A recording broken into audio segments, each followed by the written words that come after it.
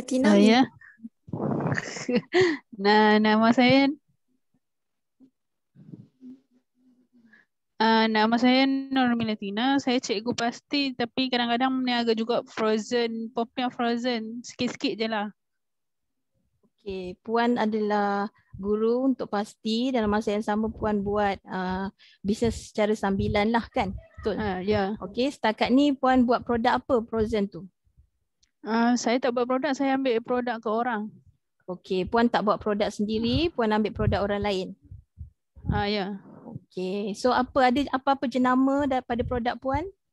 Uh, tak saya ambil orang kampung je ambil daripada uh, usahawan kampung. Mm-hmm. Uh, ambil sikit-sikit macam tu je lah. Okey. Jadi puan sebenarnya melalui program NCER ni, puan apa matlamat puan? Puan nak uh, menambah pendapatan. Okey. Sejauh mana puan nak pergi dengan bisnes?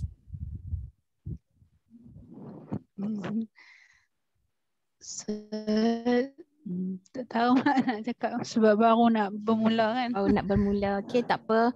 So sekarang ni kita ni bukan saja perlu buat satu pekerjaan pun dalam masa yang sama kita perlu ada uh, orang kata pendapatan sam, sampingan, okey, yang boleh meningkatkan ekonomi kita lagi lah ekonomi rumah kita. So Puan Isma Ruby. Terima kasih Puan Nur. Okey, mungkin boleh dengar daripada Puan Isma pula. Eh, sama. Okay. Puan Isma. Boleh dengar suara cikgu tak? Kak Isma minta on mic.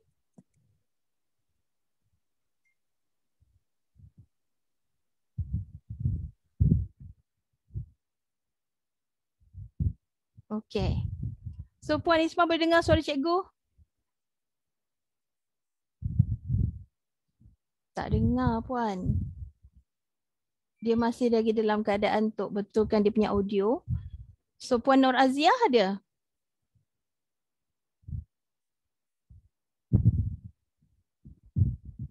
Puan Nur Azia ada?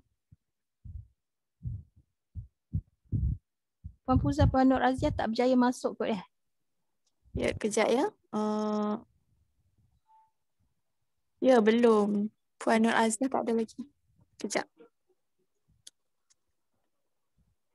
Kak Isma boleh tak on mic?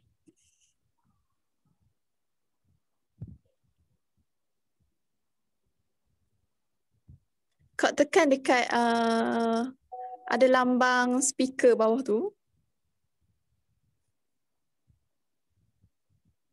Okey. So, uh, ha, saya boleh dengar suara puan. Hello, Assalamualaikum. Waalaikumsalam Puan Isma. Silakan. Okay. Tolong perkenalkan diri perniagaan puan, setakat mana puan uh, buat bisnes sekarang, dah mula buat perniagaan secara online ke belum? Okey, Assalamualaikum. Uh, saya Ismail binti Ismail. Saya berasal daripada Kuala Ketil. Uh, saya berniaga nasi lemak. Lepas tu adalah letak sikit-sikit kat kedai buat kacang goreng. Online saya belum lagi. Okey. Puan berniaga Hello, nasi lemak. Waalaikumsalam. Saya dengar puan. Dengar tak cikgu? Dengar, dengar, dengar Puan Isma. Puan puan berniaga nasi lemak buat kuih-kuih eh? Okey, okey. Okey, and then yeah. puan puan berniaga, puan letak dekat uh, gerai-gerai? Tak, tak. Saya berniaga sendiri. Berniaga sendiri, ada gerai sendirilah? Ah, ada gerai depan rumah. Ah, puan dah ada online business. Apa yang puan belajar dengan NCER? Ah, sebelum ni saya belajar buat biskut, buat roti. Okay. Yang yang online business tu saya tak tak tak berapa concentrate lagi lah. Okey. Uh-huh. Okey, sekarang ni puan dah maksudnya dah lama buat bisnes, maksudnya berniaga secara uh, menjual ni secara direct ni puan dah lama lah. Dah berapa lama puan? Dalam 4 tahun macam tu, 4 tahun, 5 tahun. Oh, 5 tahun. Kat kawasan yeah. mana puan? Kawasan Sik. Sik Kedah. Kat taman yeah. ke dekat dekat taman perumahan ke apa tu? Kat kampung. Kampung eh. Mm-hmm. Okey. Alright, terima kasih puan. Okey, yang so saya punya menti yang terakhir adalah Puan Aziah. Okey. Puan Aziah boleh perkenalkan diri Uh, apa ya, bisnes yang puan jalankan sekarang? Saya ajar Zakaria. Saya nama tu Asik. Saya buat roti je macam tu. Roti aiskrim. Roti aiskrim. So so far macam mana bisnes puan okey? Bau bau uh, kecil-kecil je. Kecil je. Kecil-kecil tu, kecil-kecil tu macam mana? Jual kat siapa? Hmm? Ni Jual ambil siapa? tempahan kalau orang nak buat birthday ke apa, aiskrim tu. Buat. Hmm. Oh, ada ambil tempahan semua eh? Hmm. Okey. So sekarang ni puan punya pelanggan adalah orang kampung kampung eh? hmm. eh. Oh, kenalan-kenalan je lah. Kenal-kenalan orang so uh, kenalan yang tinggal dalam satu kampung ke?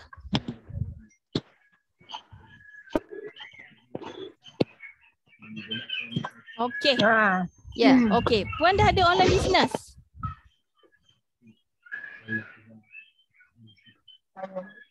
Ada online business? Puan Az Azia dah ada online business? Hmm? Puan Azia dah ada online business? Tak ada. Tak ada. Tak ada lagi. Hmm. So dengan NCR e ni belum uh, ada modul untuk online business lagi ke? Oh, tak buat. oh, dengan NCR e belum ada buat lagi business untuk online business.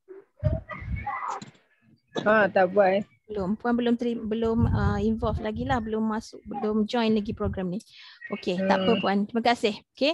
Terima kasih ya, juga kepada yang ada dalam kumpulan ni. Encik Haikal, okey.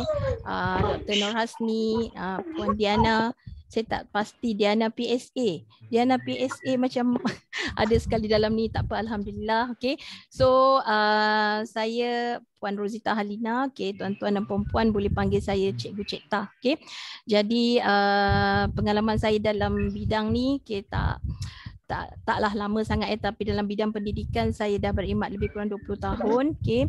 Uh, dan siapalah saya untuk bercakap tentang bisnes dengan tuan-tuan dan puan kerana depan saya ni semuanya adalah usahawan sebenar usahawan yang real berada dalam industri sebenar dalam keadaan pandemik ni dalam keadaan krisis ni tuan-tuan berada dalam industri yang sebenar. So ini sangat sangat challenge lah okey. Sangat mencabar. So bukan senang untuk tuan-tuan nak menempuhi saat-saat krisis begini. So apapun uh, kalau kalau mana yang menjadikan sebagai perniagaan itu adalah sumber mata pencarian utama tuan-tuan kan kita perlu diteruskan. Jadi kita perlu fleksibelkan perniagaan kita eh. Jadi saya rasa untuk Cik Haikal uh, Dr. Nur Hasni dan juga rakan-rakan lain mungkin hari ini mungkin mendengar saja dan dah mendapatkan apa-apa yang cikgu boleh sharekan dengan tuan-tuan dan puan okey so cikgu tak ada nak uh, panjang lama pun hari ini maybe dalam satu jam saja perkongsian cikgu. So cikgu nak fokuskan kepada tiga orang usahawan ni sebenarnya okey. Uh, perkongsian kita hari ini adalah lebih kepada kita nak validate idea tuan-tuan tu. kita nak buat idea validation okey. Idea validation ni kita nak menentu sahkan yang bahawa produk yang tuan-tuan nak bangunkan ini mempunyai keperluan di dalam pasaran okey. Contoh puan Isma tadi ada mention puan Isma uh, jual kuih jual nasi lemak ada gerai sendiri and then puan Aziah puan buat aiskrim kan? And then buat roti. Puan ada ada banyak kemahiran. Orang kata kalau kita nak mulakan bisnes tu kita kena mulakan dengan kemahiran yang apa yang ada dalam tangan kita dahulu. Kita tak payah fikir jauh-jauh. Tengok apa yang ada dalam minda kita dan, dan di tangan kita dan dan oleh kita akan uh, belajar untuk pasarkan produk kita. Okay. So uh, cikgu nak open cikgu punya slide. Okay. Kenapa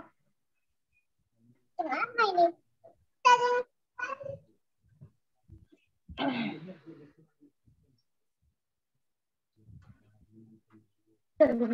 Okay, ini sedikit sebanyak macam apa yang cikgu dah sebutkan tadi lah. Ini semua sijil-sijil yang cikgu ada. Okay, so saya bercakap dengan tuan-tuan ni bukan senang tuan-tuan. Jadi uh, saya uh, pengalaman perniagaan saya. Okay, uh, sebenarnya saya ni ada family business. Okay, kami dah mula berniaga uh, dalam bidang ni dah lama tuan-tuan daripada tahun 2004 lagi kita dah ada sebuah perniagaan. Dalam bidang tuan-tuan juga bidang F&B hingga kini. So 2004 sampai 2017 tahun dah perniagaan saya. So kami ni telah ada proses jatuh bangun dalam perniagaan. Okay. Uh, pernah uh, pada tahap satu ketiga ketika kita pernah ada uh, sebuah restoran ya dekat dalam The My Shopping Center. The My Shopping Center ni merupakan sebuah pasar raya yang besar lah ada dekat Serdang ni. Okay, pada mulanya tahun 2004 cikgu meniaga dekat situ sewa bangunan, sewa premis kat situ hanyalah sekitar 3000 saja sebulan. Okay, tetapi pada tahun 2011 pihak pengurusan The Mice ni okay, telah menaikkan harga sewa tu kepada 10000 sebulan. Okay, so cikgu daripada 2004 tu sehingga 2011 okay, hingga 2013 okay, kita meniaga macam biasa je tuan-tuan. Tetapi kalau kita buat bisnes ni tuan-tuan paling penting dalam perniagaan kita adalah return on investment. Pulangan kepada perniagaan kita okay. jadi walaupun uh, perniagaan cikgu yang cikgu dah mulakan sejak tahun 2004 tu tetapi akhirnya pada 2013 kami terpaksa tutup perniagaan yang telah beroperasi lebih daripada 10 tahun di dalam The My Shopping Center kerana apa? Kerana pul- return return on investment pulangan terhadap pelaburan yang kita buat tu tidak membadai sebab apa? Kalau kita nak tengok cerita pasal pulangan keuntungan ni sebenarnya dia ber, mestilah berupa uh, peratus yang tinggi lah tuan-tuan 2-300 peratus. Bukan 100 peratus setiap bulan. So 100 peratus tu dia sekadar break even. Dia cukup untuk kita bayar hutang segala dan teruskan perniagaan. Tetapi keuntungan dia amat kecil. So uh, disebabkan itu okay, cikgu terpaksa tutup restoran tersebut yang telah beroperasi lebih 10 tahun dalam The Mice okay, dan pada ketika itulah pada tahun 2013 ya tuan-tuan. Cikgu ni okay, uh, mula belajar tentang digital entrepreneurship. Okay, cikgu pergi belajar tentang digital ni okay, uh, pertama kali cikgu belajar digital ni dekat Dublin Island eh. Dekat Dublin Island. Saya pergi di, uh, ke island selama tiga bulan okey. Di sana saya belajar tentang keusahawanan okey. Saya belajar tentang keusahawanan secara khususnya. Okey tahu je lah negara Eropah ni kan. Diorang 2013 2014 dah ke hadapan banyak dah. Tetapi cikgu baru nak belajar. Pada masa tu salah seorang daripada doktor ataupun profesor yang mengajar cikgu cikgu ingat lagi Dr Teo tu dia mengajar pasal Google. Google, uh, Google Google advertising. So apa yang cikgu nampak pada Dr. Tio ni dia ni sebagai macam dia ni macam duta tau. Duta Google. Google tu macam dia punya. So sangat impress tapi malangnya pada ketika itu cikgu tak tak tak grab sangat uh, yang keusahawanan digital tu. Macam mana kita nak digitalizekan bisnes kita. Tetapi uh, sebab apa cikgu masih lagi dalam pemikiran cikgu ni yang bahawa bisnes tu perlulah konvensional dia adalah masih lagi konvensional pada tahun 2013 tapi apa yang menariknya pada ketika itu okey cikgu belajar belajar bagaimana kita nak buat market validation, bagaimana kita nak validate kita punya business tuan-tuan. So bagaimana kita nak menentusahkan bahawa perniagaan kita ni ada permintaan, ada ada keperluan dalam pasaran. Okay. So di situ cikgu belajar satu kaedah di mana tuan-tuan boleh melihat keseluruhan perniagaan tuan-tuan hanya dengan menggunakan sehelai kertas saja. So sehelai kertas ni untuk kita throw the idea sama ada bisnes tu bisnes baru ataupun bisnes sedia ada. Macam Puan Isma dah meniaga 4 tahun. Okay, Puan Puan Aziah yang baru nak meniaga. Okay, Puan Aziah ke Puan Isma dah meniaga 4 tahun tadi. So Puan boleh uh, cross check balik. Puan boleh uh, uh, apa ni? Boleh timbal semula tuan-tuan punya apa yang tuan-tuan dah buat selama empat tahun ni. Adakah matlamat tuan-tuan dah tercapai ke tidak? So melalui satu model yang tuan-tuan boleh nak akan cikgu sharekan pada malam ini yang kita beri nama sebagai business model canvas okey itu salah satu daripada strategi bagaimana kita boleh Uh, menentusahkan perniagaan kita ni adalah dengan menggunakan business model canvas. Itu satu kaedah. Dan kedua adalah kita akan buat uh, apa tu uh, re, uh, kita akan search on um, keyword and also uh, apa tu? Uh, keyword and term yang ramai orang cari melalui digital. So kita nak tahu adakah kita punya demand ada dalam produk kita ni ada demand dalam pasaran. So kita akan check perkara ni semualah secara online. Okay. So uh, ini semua ada tokoh-tokoh bisnes yang berjaya tuan-tuan. Kalau tuan-tuan nak tahu, okay, uh, ini semua ni adalah orang usahawan yang berjaya di Malaysia dan di dunia. Okay, uh, kalau nak cerita pasal Syed Mutah Buhari, saya rasa panjang ceritanya. Tetapi Ifan Hairi, Ifan Hairi ini adalah sifu perniagaan online tuan-tuan. Dia dah mulakan perniagaan online sebelum tahun 2010 lagi. Tapi cikgu tak nak cerita pasal dia banyak. Okay, tapi apa yang cikgu nak ceritakan di sini pada malam ni adalah berkaitan dengan Tony Fernandez. Okay, so ini mungkin boleh buka minda Puan Isma, okey boleh buka minda Puan Azia, okey dan seorang lagi tadi siapa eh. Buka minda bagaimana tuan-tuan boleh melihat uh, masalah itu, okey. Uh, masalah yang ada sekarang ni menjadi sebagai peluang untuk tuan-tuan untuk melakukan perniagaan. Okey, masalah yang ada sekarang ini boleh kita jadikan sebagai satu peluang untuk kita laksanakan perniagaan kita. Okey, contoh ya. Uh, mungkin ramai di sini uh, dah lahir pada ketika tahun 2001. Siapa dah lahir tahun 2001?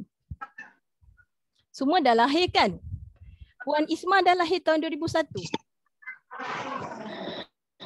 Dah. Ha, masa tu umur, umur Puan Isma berapa? Dah cikgu. Masa tu umur Puan Isma berapa? 2001. Dah- Dalam sekarang ni tahun Dah kahwin ke, 20, Cik? 21 Dah- kan? dah kerja ke? 11 tahun. Sekarang ni pun dah 40-an dah. Ah, maknanya puan masa tu remaja lah kot eh. Remaja, kurang mungkin- 20. Mungkin dah mula nak ber, dah kerja kot eh, dah kerja dah pada tahun 2001 tu 2001 tu kan. Okey. So ramai antara kita Dah, ni okey mungkin tahu satu peristiwa yang terjadi pada tahun 2001. Okey, ini adalah Tony Fernandez, okey. Tony Fernandez ni adalah merupakan CEO kepada Warner Music. Okey, dia ada satu impian yang mana dia nak mempunyai sebuah syarikat penerbangan sendiri. Okey, dia nak ada dia nak ada syarikat penerbangan sendiri. Walaupun dia dah ada satu pekerjaan, okey, CEO Warner Music tetapi dia nak ada impian untuk ada sebuah syarikat perniagaan sendiri. Okey, dia kerja impian dia pada tahun 2001 Tun Dr. Mahathir offer Asia kepada Tony Fernandez. Air Asia tahu kan? Tahu kan? Asia adalah sebuah syarikat penerbangan, okey. Jadi Tun Dr. Mahathir offer Air Asia tu ke, kepada uh, kepada Ya. Tony Fernandez kerana okey kerana dia tahu yang Tony Fernandez ni ada impian mempunyai syarikat penerbangan sendiri. Okey. Pada tahun 2001 ni ada satu kejadian yang amat dahsyat melanda dunia. Tuan-tuan tahu tak apa? Ingat tak lagi tahun 2001 apa kejadian dahsyat tu? Puan Isma, apa kejadian dahsyat yang melanda negara kita pada melanda dunia pada tahun 2001? Apa kegawatan ekonomi ke? Kegawatan ekonomi tu salah, Salah salah satu tetapi berpunca daripada apa kegaw- ke- kegawatan ekonomi tu? Apa tak berapa ingat lah cikgu. Berapa ingat? Tak apa puan, tak ingat tak apa. Saya boleh cerita. Nak siapa nak dengar cerita angkat tangan malam ni. Tak Cikgu kalau buat ingat. cerita saya tu sampai ke pukul 12 tak habis ni kau buat cerita ni. Okey. So pada tahun 2001 ni tuan-tuan ada satu kejadian yang amat dahsyat melanda dunia di mana okey di mana uh, World Trade Center, pusat dagangan dunia eh, pusat dagangan dunia. Boleh dengar suara cikgu eh? Hello. Boleh dengar eh? Boleh, Sebab apa saya boleh. tadi nampak saya punya internet unstable. So pusat dagangan dunia pusat dagangan dunia ni diserang oleh kapal terbang. Okey, diserang oleh kapal terbang. Akibatnya ramai orang takut naik kapal terbang. Okey, tetapi pada tahun 2001 ni lah Tony Fernandez, okey, mengambil alih Air Asia. Kenapa dia mengambil alih Air Asia? Dia mengambil alih Air Asia walaupun pada masa tu semua orang takut naik kapal terbang tetapi Tony Fernandez tetap nak ambil juga alih Air Asia. Kenapa? Kenapa Tony Fernandez nak ambil alih juga Air Asia walaupun pada tahun 2001 tu orang takut naik kapal terbang sebab PW apa World Trade Center diserang tetapi dia tetap mengambil alih juga Air Asia. Kenapa? Kerana okey 80% daripada orang yang berada di Asia ini tidak pernah naik kapal terbang. Okey, hanya 20% saja yang naik kapal terbang. So bila ada 20% saja yang naik kapal terbang, 80% lagi tak naik kapal terbang. Kenapa tak naik kapal terbang tuan-tuan? Kenapa tak naik kapal terbang? Harga tiket dia mahal. Yes, pandai puan. Harga tiket mahal itu adalah masalah. Jadi masalah pada ketika 2001 tu bukan pandemik tetapi masalah dia adalah harga tiket mahal 80% orang tak pernah naik kapal terbang meng- menyebabkan uh, Tony Fernandez mendapati itu satu peluang bisnes yang besar untuk diri dia. Okay. So bila kita ada masalah, kita tahu masalah dan kita tahu siapa yang naik kapal terbang itu adalah kita punya sasaran pelanggan. Okay. Apa yang kita perlu buat sebagai seorang usahawan? Okay. Kita perkenalkan satu business model okay, yang boleh kita tawarkan kepada sasaran pelanggan kita yang bagi menyelesaikan masalah mereka. So apa bisnes model yang Air Asia tawarkan? Apa bisnes model yang Asia Penerbangan tawarkan? tiket harga murah. Ah, tambang tiket, penerbangan penerbangan tambang murah. Itu Tiket adalah harga murah. tiket harga murah, penerbangan ha- ah, penerbangan harga murah itu adalah bisnes model ataupun tawaran yang diberikan kepada orang ramai. Okay, bisnes model yang di- diperkenalkan oleh Tony Fernandez untuk menyelesaikan masalah orang ramai. That's why lah cikgu cakap, okay, bila kita nak buat satu perniagaan mestilah bermula dengan masalah dahulu, barulah kemudian kita fikirkan apa bisnes model dan juga apakah produk yang kita nak tawarkan untuk selesaikan masalah tersebut. Okay, so bisnes model ni tuan-tuan, idea untuk buat penerbangan tanah murah, tiket tik- tiket murah ini semua bukan idea daripada dia. Okay, dia ambil idea ni daripada orang lain. Okay, idea ini diinovasikan daripada orang lain. Diinovasi daripada siapa? Siapa yang dah buat tiket penerbangan mu- murah ni dulu? Siapa yang dah buat dulu? Ah, dah tentulah syarikat penerbangan dekat negara Eropah kan. Dah lama dia orang dah buat penerbangan taman murah. Ah, kalau tuan-tuan per- pernah dengar Ryanair, ah, so dia benchmark Ryanair. Dia jadikan Ryanair ni sebagai dia punya benchmark penanda aras, kemudian dia inovasikan kepada peniaga uh, perniagaan dia.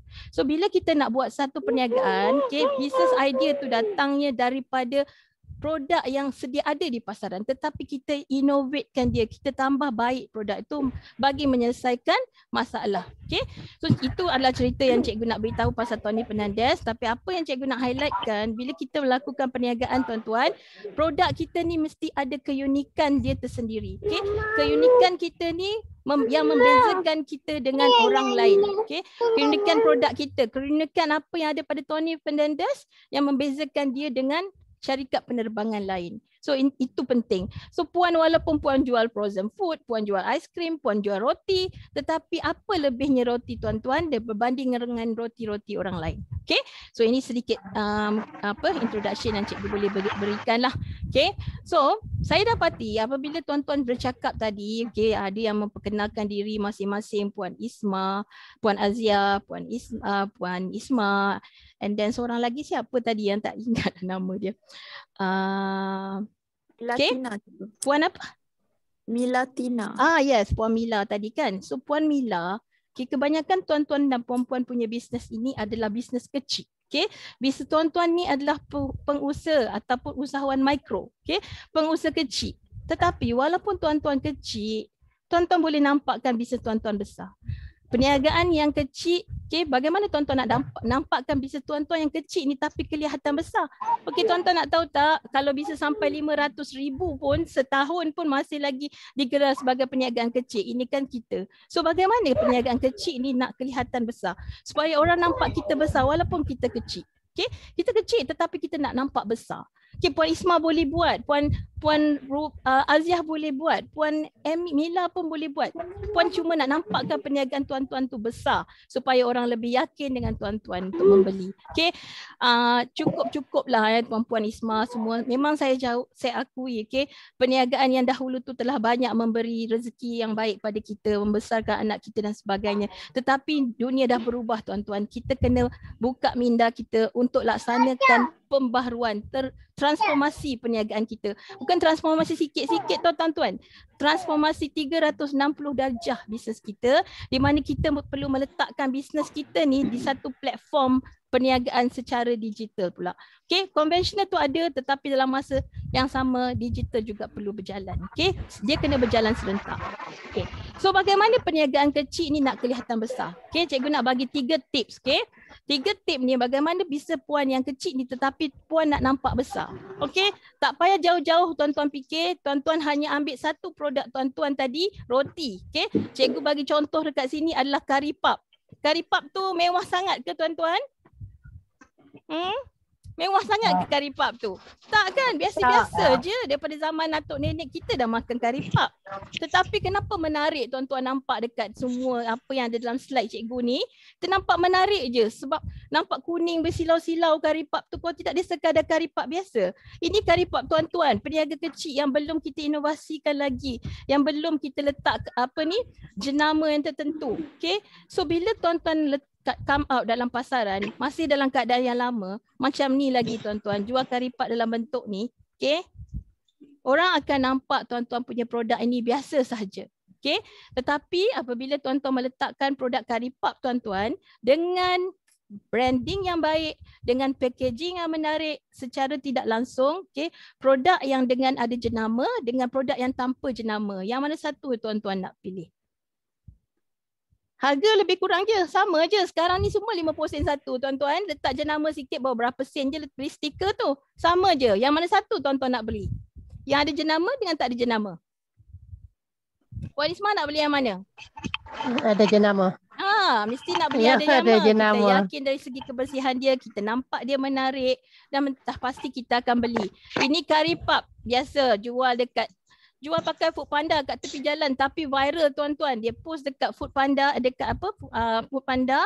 Okey dia letak ada packaging yang menarik macam ni dia letak Old Klang Road Curry Pub okey dia dah menaikkan nilai sebuah produk. So bila kita nak uh, nampakkan produk kita tu kecil nak nampak besar yang first thing kita kena buat adalah menukar persepsi orang ramai terhadap produk kita okay go in their mind. So kita nak tanam dalam dalam pemikiran dia yang bahawa produk karipap kita ni adalah produk karipap yang terbaik.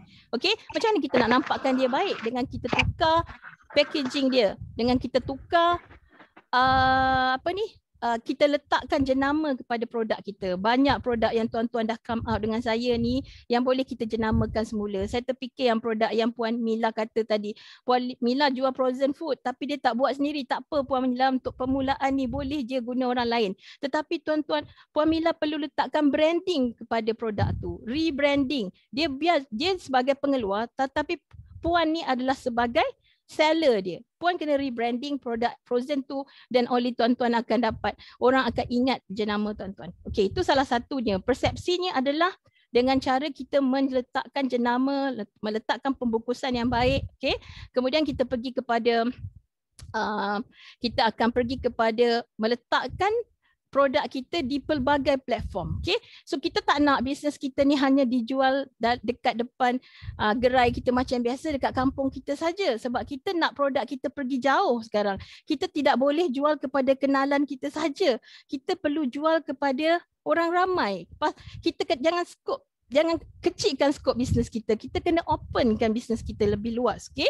Jadi, macam mana cara nak openkan? Boleh ke kita pecah pecahkan badan kita letak separuh sini, letak separuh sini, letak kat taman ni, letak kat, kat semua taman dekat sik tu letak, kat semua kampung tu letak. Tak boleh tuan-tuan. Tetapi apa yang tuan-tuan boleh buat? Tuan-tuan boleh plat mendigitaliskan perniagaan tuan-tuan secara atas talian. Tuan-tuan boleh letakkan tuan-tuan punya bisnes ni ke mana saja tuan-tuan nak. Okay, itu yang baiknya. Okay, bila tuan-tuan dah start promote tuan-tuan punya produk dekat YouTube, dekat website, dekat Facebook, dekat Instagram, orang akan nampak persepsi orang ramai terhadap karipap tuan-tuan ni daripada kecil dia akan nampak besar. So tolong, tolong, tolonglah. Ni semua menti cikgu kan? Jadi kena buat tuan-tuan. Kalau tak buat selama-lamanya tuan-tuan punya bisnes tu kecil. Kalau kita serius untuk dapatkan bisnes kita ni kita nak dapatkan orang kata extra income kan? Itu matlamat kita. Itu aim kita. Kita kena buat cara ini tuan-tuan. Ini cara orang sekarang membeli. Okey ini cara orang sekarang membeli. Okey. So seterusnya. Okey itu baru P pertama kita nak persepsi orang ramai terhadap produk kita ni. Dia kecil tetapi nampak besar. Biar kecil tetapi nampak besar adalah dengan cara kita letak jenama kita buat packaging. Lepas tu kita letakkan produk kita ni. Tak cukup dekat satu kedai je tuan-tuan. Kedai yang kat kampung ke kat gerai tuan-tuan sekarang tak cukup. Tetapi kita kena letak dekat banyak lagi platform Okay, dari kecil kita akan nampak besar dengan cara tu. Cara kedua adalah kita positionkan kita punya branding puan-puan. Kita positionkan karipap tu tadi. Okay, position. P kedua position. Position ni adalah bagaimana kita nak letakkan karipap kita tu supaya dia berada uh, dalam minda pelanggan kita. Okay, bagaimana kita nak bersaing dengan pesaing-pesaing lain, dah tentu mesti ramai orang jual karipap. Macam mana kita nak bersaing dengan pesaing lain, okay, dengan meletakkan karipap kita ni sekarang dalam minda pelanggan kita. Kita bersaing dalam minda tuan-tuan, bukan bersaing dekat dekat Panda ke, bersaing dekat Facebook ke, Instagram ke tak. Tetapi kita bersaing dalam minda pelanggan kita. So tuan-tuan, jadi kita kena, bagaimana caranya kita nak meletakkan kita punya uh, nak positionkan, nak meletakkan jenama kita karipap kita ni supaya uh, orang tahu. Okay, orang tahu kita ni pakar. Okay, dengan cara kita buat bisnes secara online, okay, kita buat copywriting, kita buat copywriting, kita ber, kita beritahu uh, bahawa kita ni pakar dalam bidang ni. Okay, kita sharekan testimoni pelanggan-pelanggan orang yang dah menggunakan perkhidmatan kita, produk kita, dah makan produk kita. So, kita letak, eh, kita kena tunjuk yang kita ni pakar. Okay, kita buat selalu FB live, kita share demonstrasi masakan dan sebagainya. Lama-lama orang akan yakin dengan kita dan orang akan tahu yang kita ni pakar dalam bidang pastry ke, dalam bidang apa tu, uh, F&B kuih, frozen food dan sebagainya. So, cara untuk kita positionkannya adalah melalui konten. Okay? Konten. Bagaimana kita meletakkan jenama kita ni dalam minda orang adalah melalui apa yang kita uh, kongsikan di dalam di platform digital. Kita platform dalam platform digital ni kita kena kongsi benda yang baik-baik je. Hal rumah tangga tu letak tepi. That's why kita kena ada personal account untuk kita Facebook dan kita kena ada business account untuk kita punya business. Okay. So kita tak boleh campurkan. Jadi kita nak share yang bagus-bagus je. Jangan tunjukkan kelemahan business kita menyebabkan orang rasa tak yakin dengan kita. So kita kena tunjukkan kita pakar, kita mahir dalam bidang masakan, kita ada varieties of food. So itu perlu tuan-tuan. Tetapi itu just a camera trick, uh, permainan dari segi content, permainan dari segi gambar, video dan sebagainya. Okay. So itu adalah P yang kedua. P yang ketiga adalah P pertama perception. P kedua promotion uh, positioning dan P yang terakhir adalah promotion. Okay. So promotion ni penting tuan-tuan. Kalau perempuan nak pergi jauh, okay, tugas cikgu sebagai mentor untuk bantu tuan-tuan. Okay, cikgu tak dapat apa-apa keuntungan pun dari segi daripada apa yang kita lakukan ni. Tetapi cikgu memang nak tuan-tuan untuk naikkan ekonomi. Tak ada orang lain boleh tunggu uh, tolong tuan-tuan hanya tuan-tuan yang boleh tolong diri tuan-tuan sendiri. Okay, melalui apa yang saya dah sharekan tuan-tuan boleh cuba perbaiki apa yang telah tuan puan buat sekarang. Tetapkan satu sasaran tuan-tuan. Kita tak boleh uh, sebenarnya tadi ada satu slide itu. Uh, apa beza usahawan dengan peniaga? Okay. Usahawan ni, okay, bila dia buat bisnes, dia ada satu networking system. Dia ada satu, uh, apa tu? Uh, dia ada uh, apa tu sistem agent, okay, dia ada sistem networking, kerja pekerjaan usahawan tu bersistem. Okay. Walaupun dia rehat tetapi perniagaan dia tetap berkembang sebab dia ada sistem. Tetapi peniaga, peniaga ni adalah Peniaga ni adalah orang yang mencari pendapatan melalui bekerja sendiri. Okay, dia bekerja sendiri. Self-employed. Dia kerja ada pendapatan. Dia tak kerja tak ada pendapatan. Itu yang terjadi pada krisis ekonomi kita sekarang ni. Krisis pandemik ini telah menyebabkan ramai orang, ramai usahawan kecil gulung tikar tuan-tuan. Kerana apa? Kerana dia menjadikan okay, pekerjaan dia tu sebagai bekerja sendiri. So bila dia bekerja sendiri, hari ini dia ada masalah, Okay, lepas tu dia dah tak boleh nak pergi jauh lagi sebab apa? Dalam keadaan pandemik ni dia tidak boleh buat open dia punya bisnes dan sebagainya. So dia tidak ada sistem. So bila dia tak ada sistem, macam mana uh, dalam satu keadaan yang di mana you tak boleh buat kerja dan orang lain dalam team you juga dalam dalam masa yang sama tidak boleh buat kerja. So itu itu uh, apa? Itu adalah uh, sesuatu yang mana kita boleh kita boleh cuba tuan-tuan bahawa kita boleh cuba untuk mempromosikan produk kita ni ha, bukan hanya dalam satu platform saja okey? Bila kita nak mempromosikan tuan-tuan puan Isma jangan ingat hanya boleh okey tiap pagi tuan-tuan buat adalah uh, 10 biji kari pap 10 biji kuih kaswi 10 biji apa donat dan sebagainya bawa niaga depan stall tak payah guna apa promosi pun. Orang lalu lalang beli habis juga tetapi bayangkan tuan-tuan, kalau dengan adanya promosi, tuan-tuan bukan oh, hanya boleh jual 10 saja, 3-4 jenis kuih tu, tetapi maybe tuan-tuan boleh jual 100 dalam satu hari. Okay, tuan-tuan tak perlu pun jual dekat depan kedai yang tuan-tuan selalu buat tu tetapi yang lagi 100 ni datangnya melalui online business. Datangnya daripada Facebook, datangnya daripada IG, datangnya daripada YouTube dan sebagainya. So kita nak ke, sampai ke tahap itulah. Tuan-tuan boleh tengok mana orang yang berniaga pada keadaan sekarang ni yang hanya menggunakan satu platform social media saja. Okay, iaitu Facebook ataupun IG. Okay, dia tidak akan boleh survive dengan usahawan lain yang menggunakan banyak platform. Instagram dia guna, Facebook dia guna, video, YouTube, blog, SEO semua dia ada. Okay, dia tidak akan dapat bersaing. Akhirnya dia akan mati. Okay, hanya boleh dapat cukup makan untuk hari itu saja tetapi dia tidak boleh kembangkan bisnes dia. Akhirnya nanti orang lain yang akan pergi jauh kerana dia ada gunakan banyak platform. Okay. So ini salah satunya lah eh. Apa yang cikgu nak cakap kalau tuan-tuan nak nak bisnes tuan-tuan ni kecil nampak besar, tuan-tuan promote lah dekat dalam banyak platform digital. Okay. Tak boleh satu je saja platform digital.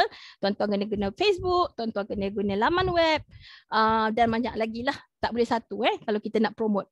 Kita boleh gunakan bahan iklan yang sama tetapi kita letakkan dia di dalam pelbagai platform. Okay, pelbagai platform. Okay, itu sedikit mukadimah lah eh.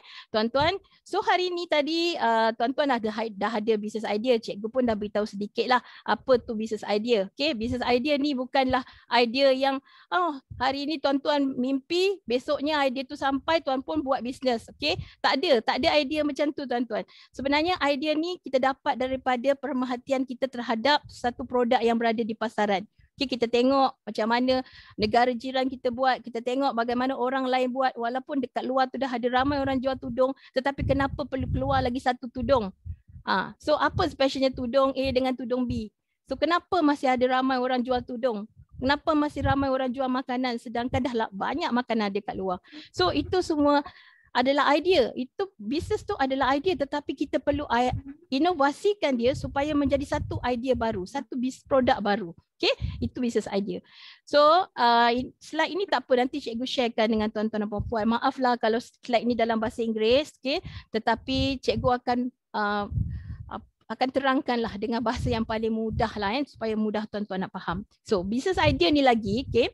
Uh, mesti ada ciri-ciri berikut. Okay, satu dia mestilah relevant. Okay, fulfill customer need. Okay, produk yang tuan-tuan nak hasilkan ini memang sangat-sangat yang puan-puan dah sebutkan tadi pun. Aziah dah sebut, tak payah nak tukar-tukar produk lain dah. Saya dah nampak dah semua ni relevant. Okay, semua ni adalah barang keperluan manusia. Okay, jadi dia relevant. Okay, inovatif. Inovatif ke puan-puan punya nasi lemak sekarang? Dah cukup inovatif ke? Apa inovasi yang tuan-tuan buat pada nasi lemak tuan-tuan? Tak semestinya daripada segi makanan produk tu sendiri tetapi dari segi packaging dari segi peletakan jenama itu juga adalah inovasi yang tuan-tuan boleh buat pada bahan-bahan produk-produk yang tuan-tuan dah lasihkan okey unik. Apa uniknya? Apa yang beza sangat nasi lemak puan roti aiskrim puan ni berbanding orang lain? Apa yang ada pada orang tu tak ada pada puan? Ah puan punya ni apa yang specialnya? So kita kena tahu puan. Puan tak boleh tanya saya apa ya keunikan produk produk saya pun kalau saya tahu apa keunikan produk puan, saya buat satu lagi lah. Saya tiru idea puan tu. So saya tak tahu. Hanya puan je tahu what is so special about your product compare to other people product. Hanya tuan je saja. Kalau saya cakap maaf, kalau maafkan saya kalau saya cakap ni, okay. Kalau puan gagal untuk mengenal pasti apa uniknya produk dan perkhidmatan tuan-tuan dalam pasaran, susah untuk tuan-tuan bersaing dalam pasaran. Okay. Sebab masing-masing menjual produk yang sama tetapi masing-masing perlu ada keunikan masing-masing.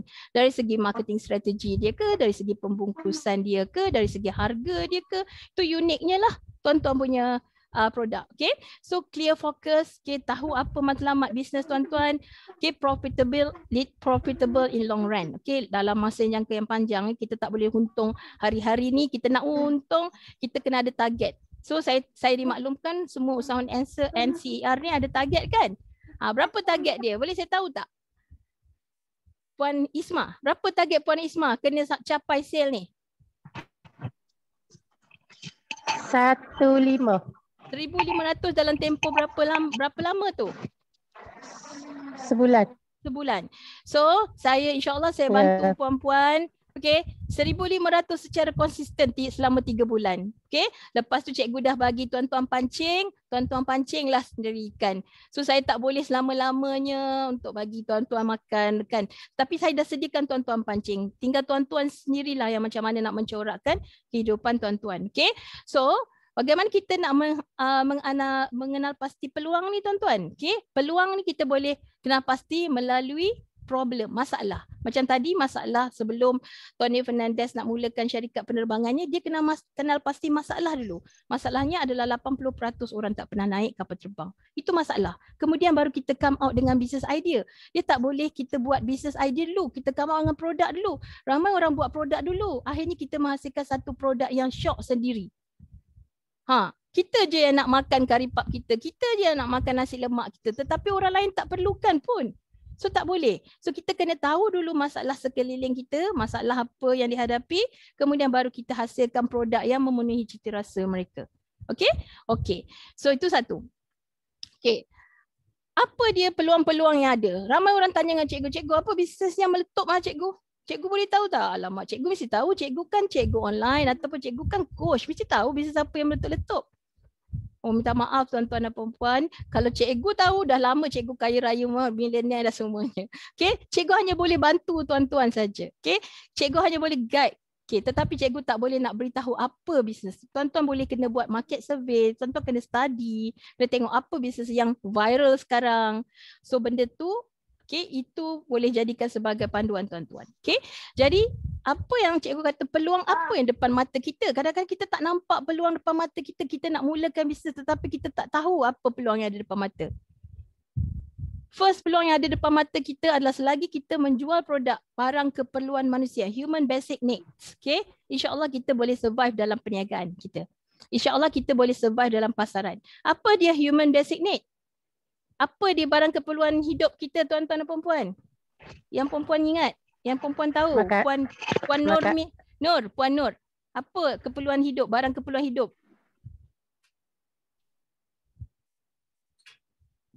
Puan Nur, Puan Nur ada ke? Puan Nur, okey, barang keperluan hidup adalah makanan. Macam-macam makanan ada kat sini. Pizza ada, mi ada, ada apa burger lagi, kek ada perempuan, barang keperluan hidup lain. Okey. Barang keperluan hidup lain adalah pakaian. Pakaian. Pakaian ni barang keperluan hidup. Tuan-tuan, masa hari tu pandemik uh, 1.0 uh, COVID apa COVID-19 PKP 1.0 dulu. Industri pakaian ni lah yang melonjak paling tinggi tuan-tuan. Diorang purchase online je. Semua orang purchase buat pembelian online. Okay. Semua orang buat pembelian online pada ketika itu. Industri pakaian ni orang kenapa orang tetap nak pakai walaupun kita duduk kat rumah je?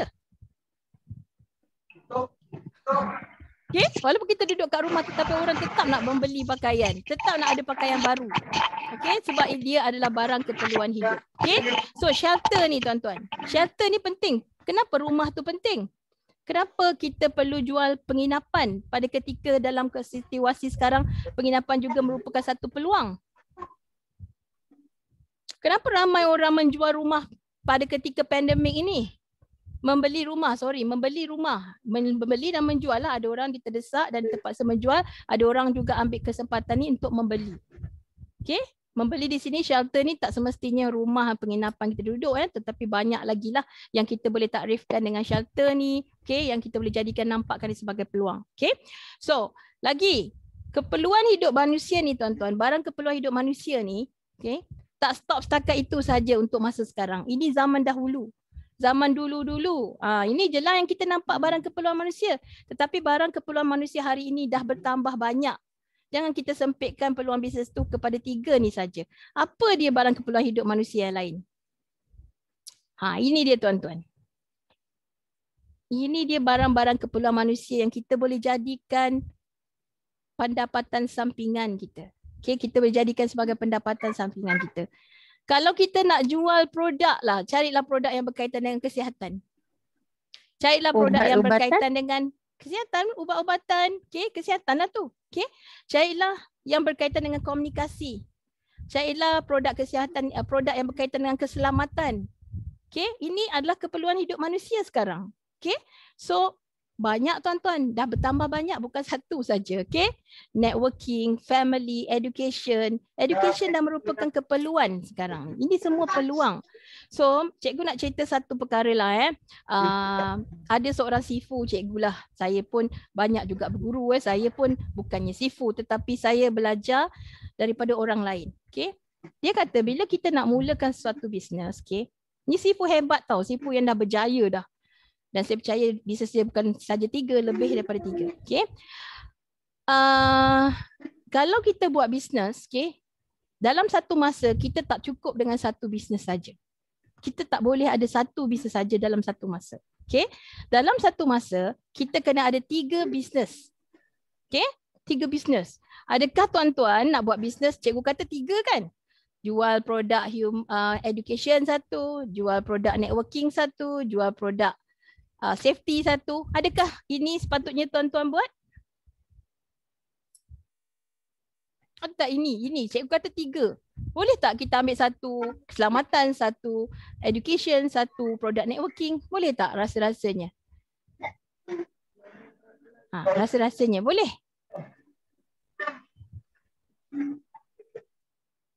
Saya nak tanya siapa ni? Ha, saya punya student dah lah tiga orang je hari ni. Puan Nur tak dengar suara. Puan Aziah ada lagi ke?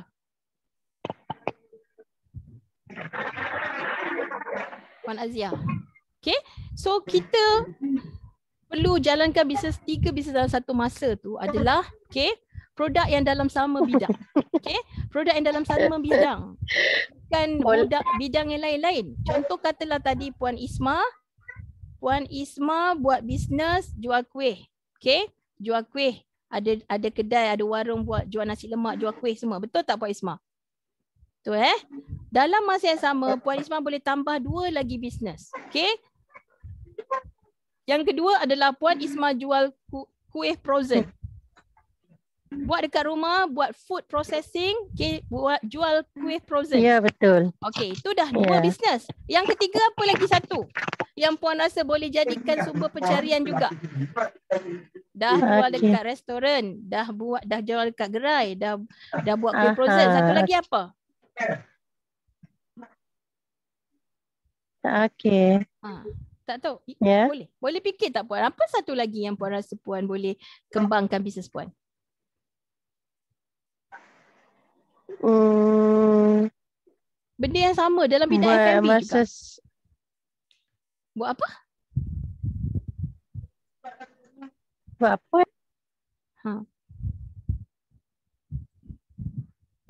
Puan boleh buat apa?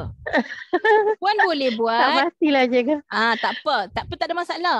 Puan boleh jadi cikgu macam cikgu ni. Ah, jadi cikgu macam cikgu Cekta. Maknanya tuan-tuan boleh kongsikan pengalaman experience puan untuk buat kelas buat kuih. Kelas perkongsian untuk puan-puan sharekan bagaimana caranya nak buat nasi lemak yang sedap. Bagaimana caranya nak buat Ah. macam-macam kuih tradisional. Puan pula yang boleh jadi cikgu. Okay? Tak ada masalah. Mula-mula puan-puan boleh uh, tunjukkan kepakaran puan-puan tu dalam Facebook masing-masing. Kemudian dari situ tuan-tuan boleh banner uh, perniagaan tersebutlah dalam bidang bagi keyakinan orang dahulu dan tuan-tuan boleh start dengan bisnes yang ketiga tu. Okay? So itu contoh lah eh. Itu contoh cikgu boleh bagikan. Okay. So seterusnya panjang ni slide cikgu ni. So cikgu ringkas-ringkaskan lah. Ini barang kehendak. Ah ini pun boleh kita tengok daripada bahan barang-barang kehendak pula. Barang kehendak manusia ni dalam saat sekarang pandemik ni mungkin kurang. Macam con- contohnya pergi membeli pergi uh, holiday, okay, percutian, okay, shopping ni semua dah dah semakin berkurangan lah eh dalam keadaan krisis uh, pandemik sekarang ni. Okay, seterusnya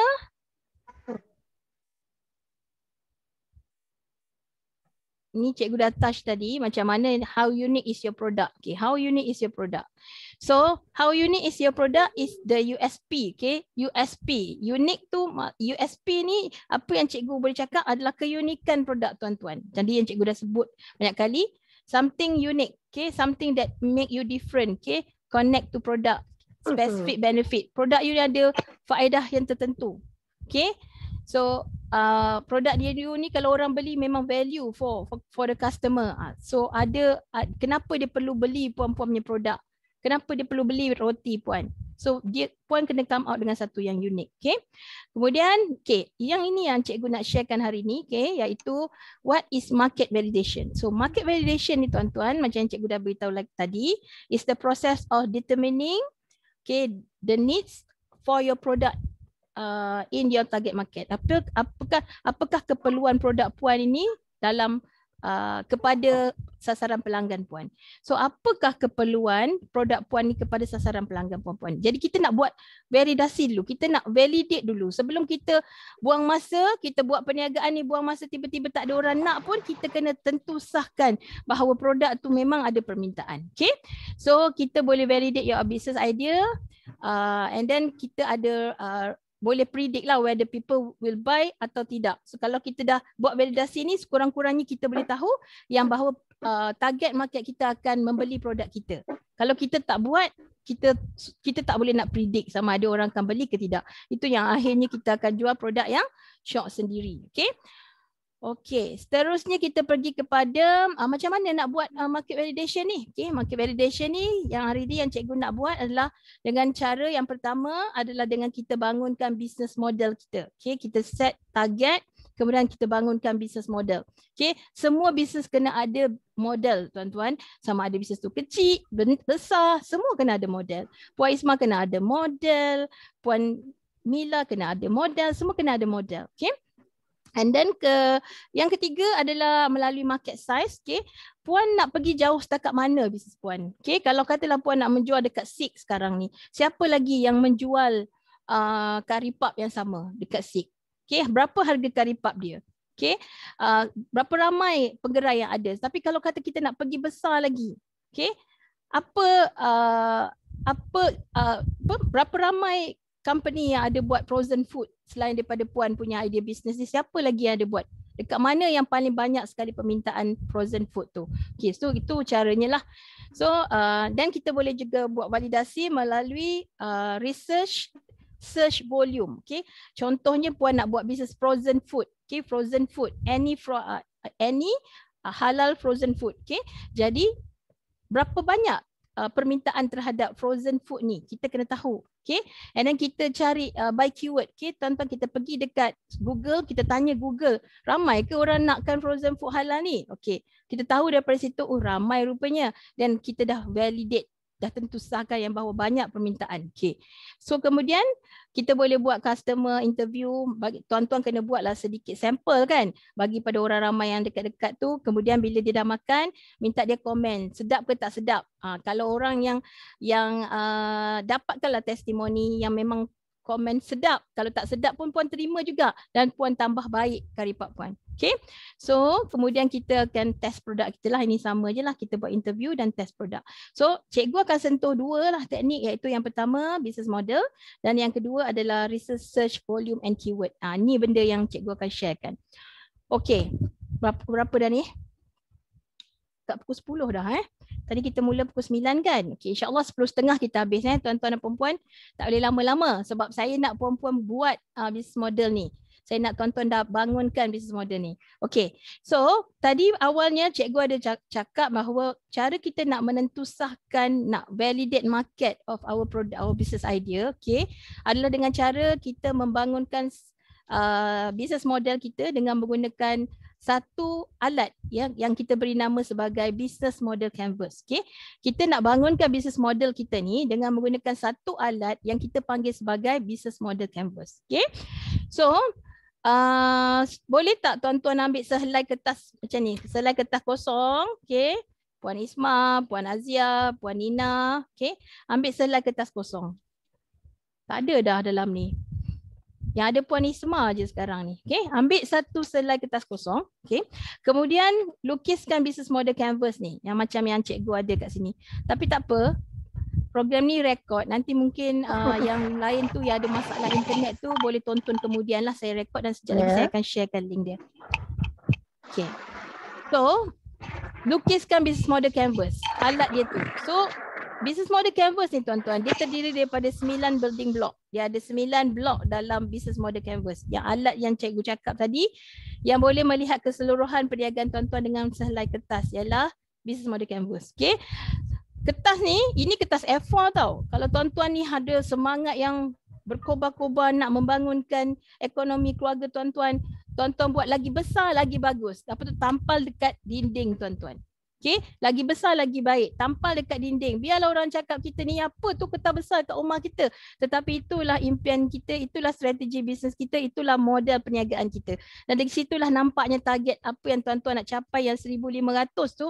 Macam mana caranya, apa usaha tuan-tuan untuk capai 1500 jualan atau pendapatan sebulan. Okay, itu yang kita target sekarang ni. Okay, so caranya adalah tuan-tuan kena lukis uh, blok sembilan building block tu, okay, yang ini tak clear sangat, tuan-tuan boleh ambil yang ini. Ambil yang bahasa Melayu terus, okay. Ambil yang bahasa Melayu. Okay, yang ini ya tuan-tuan. Ah, salin yang ini. Buat macam ni. Lukiskan dulu. Dah lukis puan-puan? Buat lukisan ni. Lukislah uh, apa ni? Secara kasar dulu. Tak perlu cantik-cantik. Tetapi mesti ada ni. Sembilan ni. Ha, lukiskan. Boleh puan? Puan Isma? Puan Isma ada lagi tak? Puan Isma ada lagi. Puan Isma boleh lukis? Ha, Puan Isma lukiskan ni. Ada sembilan blok ni. Puan Ya, ya cikgu. Ha. Okay, Kita lukis. putus tadi cikgu. Tak apa, tak apa. Kita masih kat sini Hello? lagi. Ya, ya. Saya dengar puan. Puan Isma lukiskan. Okay. Sembilan building block ni. Satu, dua. Mula daripada segmen pelanggan dahulu. Okay. Ah. Mulakan dari segmen pelanggan. Ha, lukis. Okay. Lukis dia segi empat je puan-puan. Ha, segi empat sama macam tu kan. Lepas tu bawah dia ada dua. Ha, lukiskan.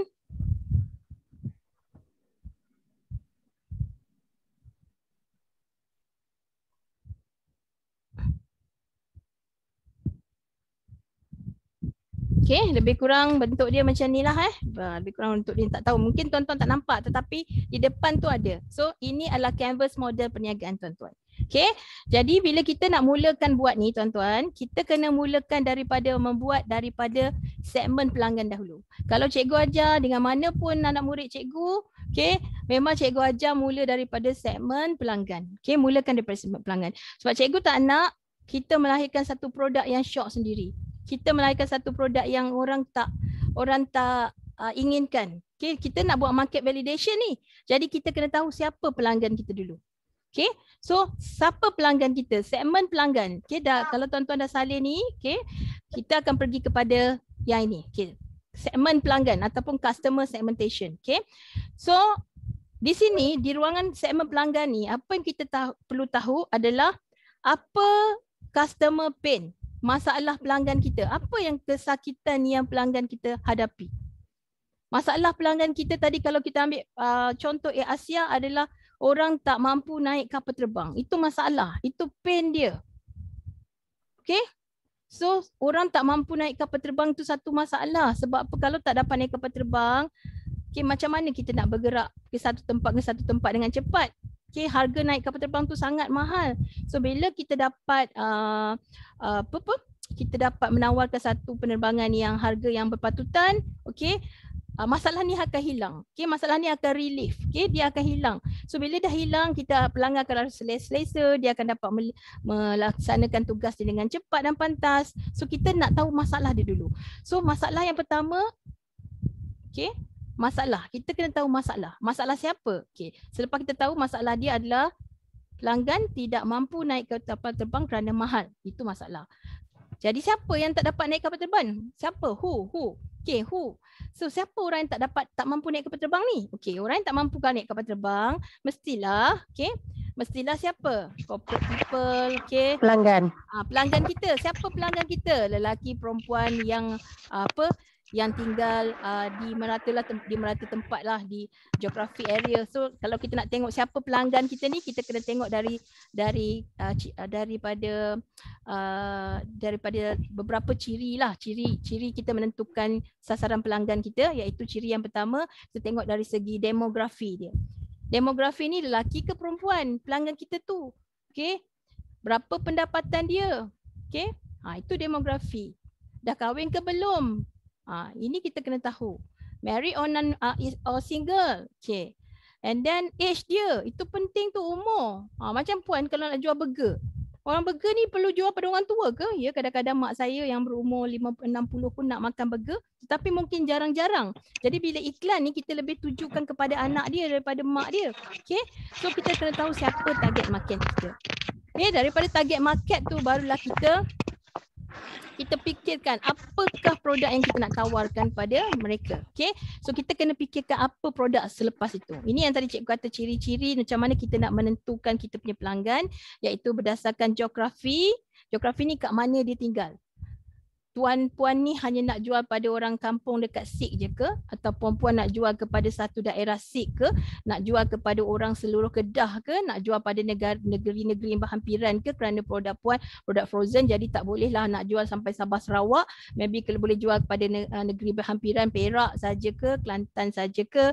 So itu puan kena tentukan geographic area dia So demografi dia macam cikgu cakap tadi age, okay, behavior dia tingkah laku, social ni kat mana dia suka berkumpul, dia suka join group apa. So kita penting nak tahu tau bila kita nak jual nak jual produk kita secara online, kita perlu tahu kat mana pelanggan-pelanggan kita ni suka berkumpul. Dia ni suka join group apa. Contohlah besok cikgu nak mengajar uh, geng tu, geng yang jual pakaian eh, dia akan jual produk pakaian. Keunikan produk pakaian dia tu berbanding pada orang lain, dia tahu ramai orang jual pakaian tetapi tapi dia nak fokuskan kepada menjual pakaian untuk orang-orang yang badan besar saja. Plus size saja. Itu masalah kerana orang yang badan besar ni dia susah untuk dapatkan baju yang selesa. Okay, so dia akan pergi join grup orang yang berbadan besar. Plus size people. Okay, itu social. Orang yang plus size dia akan ada satu community dia, grup dia. Kat situ dia menjual. Okay, ah, itu maksud cikgu. Eh. Alright, so kita pergi kepada value. So bila kita dah tahu masalah pelanggan kita, okay, kita dah tahu siapakah dia, lelaki perempuan berapa umur dia, kat mana dia tinggal dan sebagainya.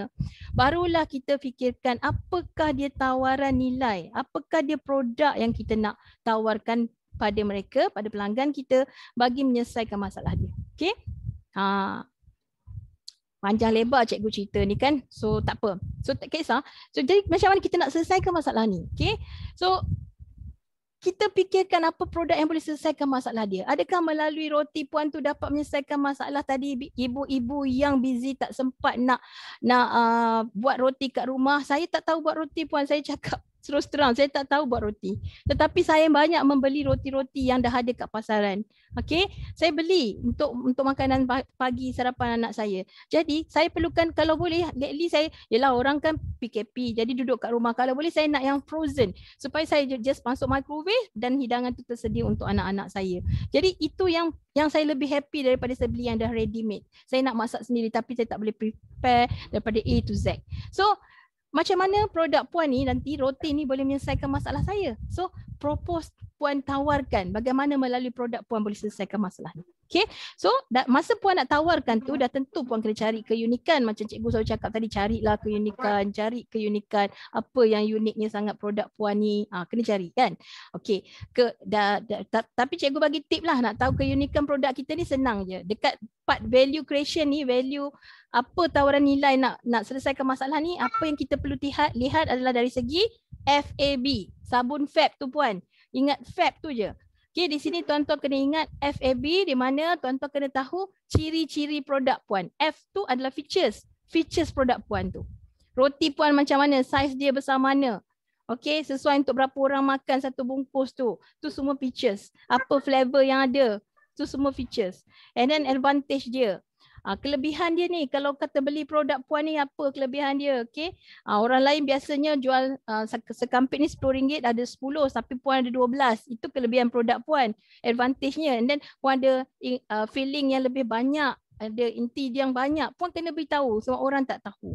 Orang ingin tahu. So that is the apa tadi ya the advantage. Okay, benefit adalah jangka masa panjang lah. Maybe kalau tuan-tuan ni orang yang mementingkan nutrisi dalam makanan, okay, dalam produk perempuan tu, perempuan boleh nyatakan okay, berapa uh, nilai kalori yang ada dalam produk. Itu lebih baik. Orang lagi suka dalam keadaan tu. Kalau dekat sini ada banyak benda yang kita boleh buat tetapi cikgu tak ada banyak masa. Di sini juga packaging. Tuan-tuan sangat penting packaging tuan-tuan jenama tuan-tuan tu. Okay. Cikgu nak bagi satu tip lah untuk kita letakkan jenama. Eh. Jenama ni tuan-tuan penting untuk value creation supaya orang boleh ingat. Okay, jenama satu tip yang cikgu bagi. Tidak boleh panjang-panjang. Okay, mesti ada jenama. Walaupun puan jual roti tetapi mesti ada jenama. Jual kuih mesti ada jenama. Okay, jenama ni kena kena gunakan dalam semua platform digital yang kita ada supaya orang senang ingat. Okay, tip untuk meletakkan satu jenama tidak boleh lebih daripada lima suku kata. Lima suku kata. Tak boleh lebih daripada lima suku kata. Puan uh, puan apa? Puan Is, uh, Isma. Ada yeah. terfikir apa-apa jenama tak? Hmm, buat masa sekarang lah tak terfikir lagi cikgu.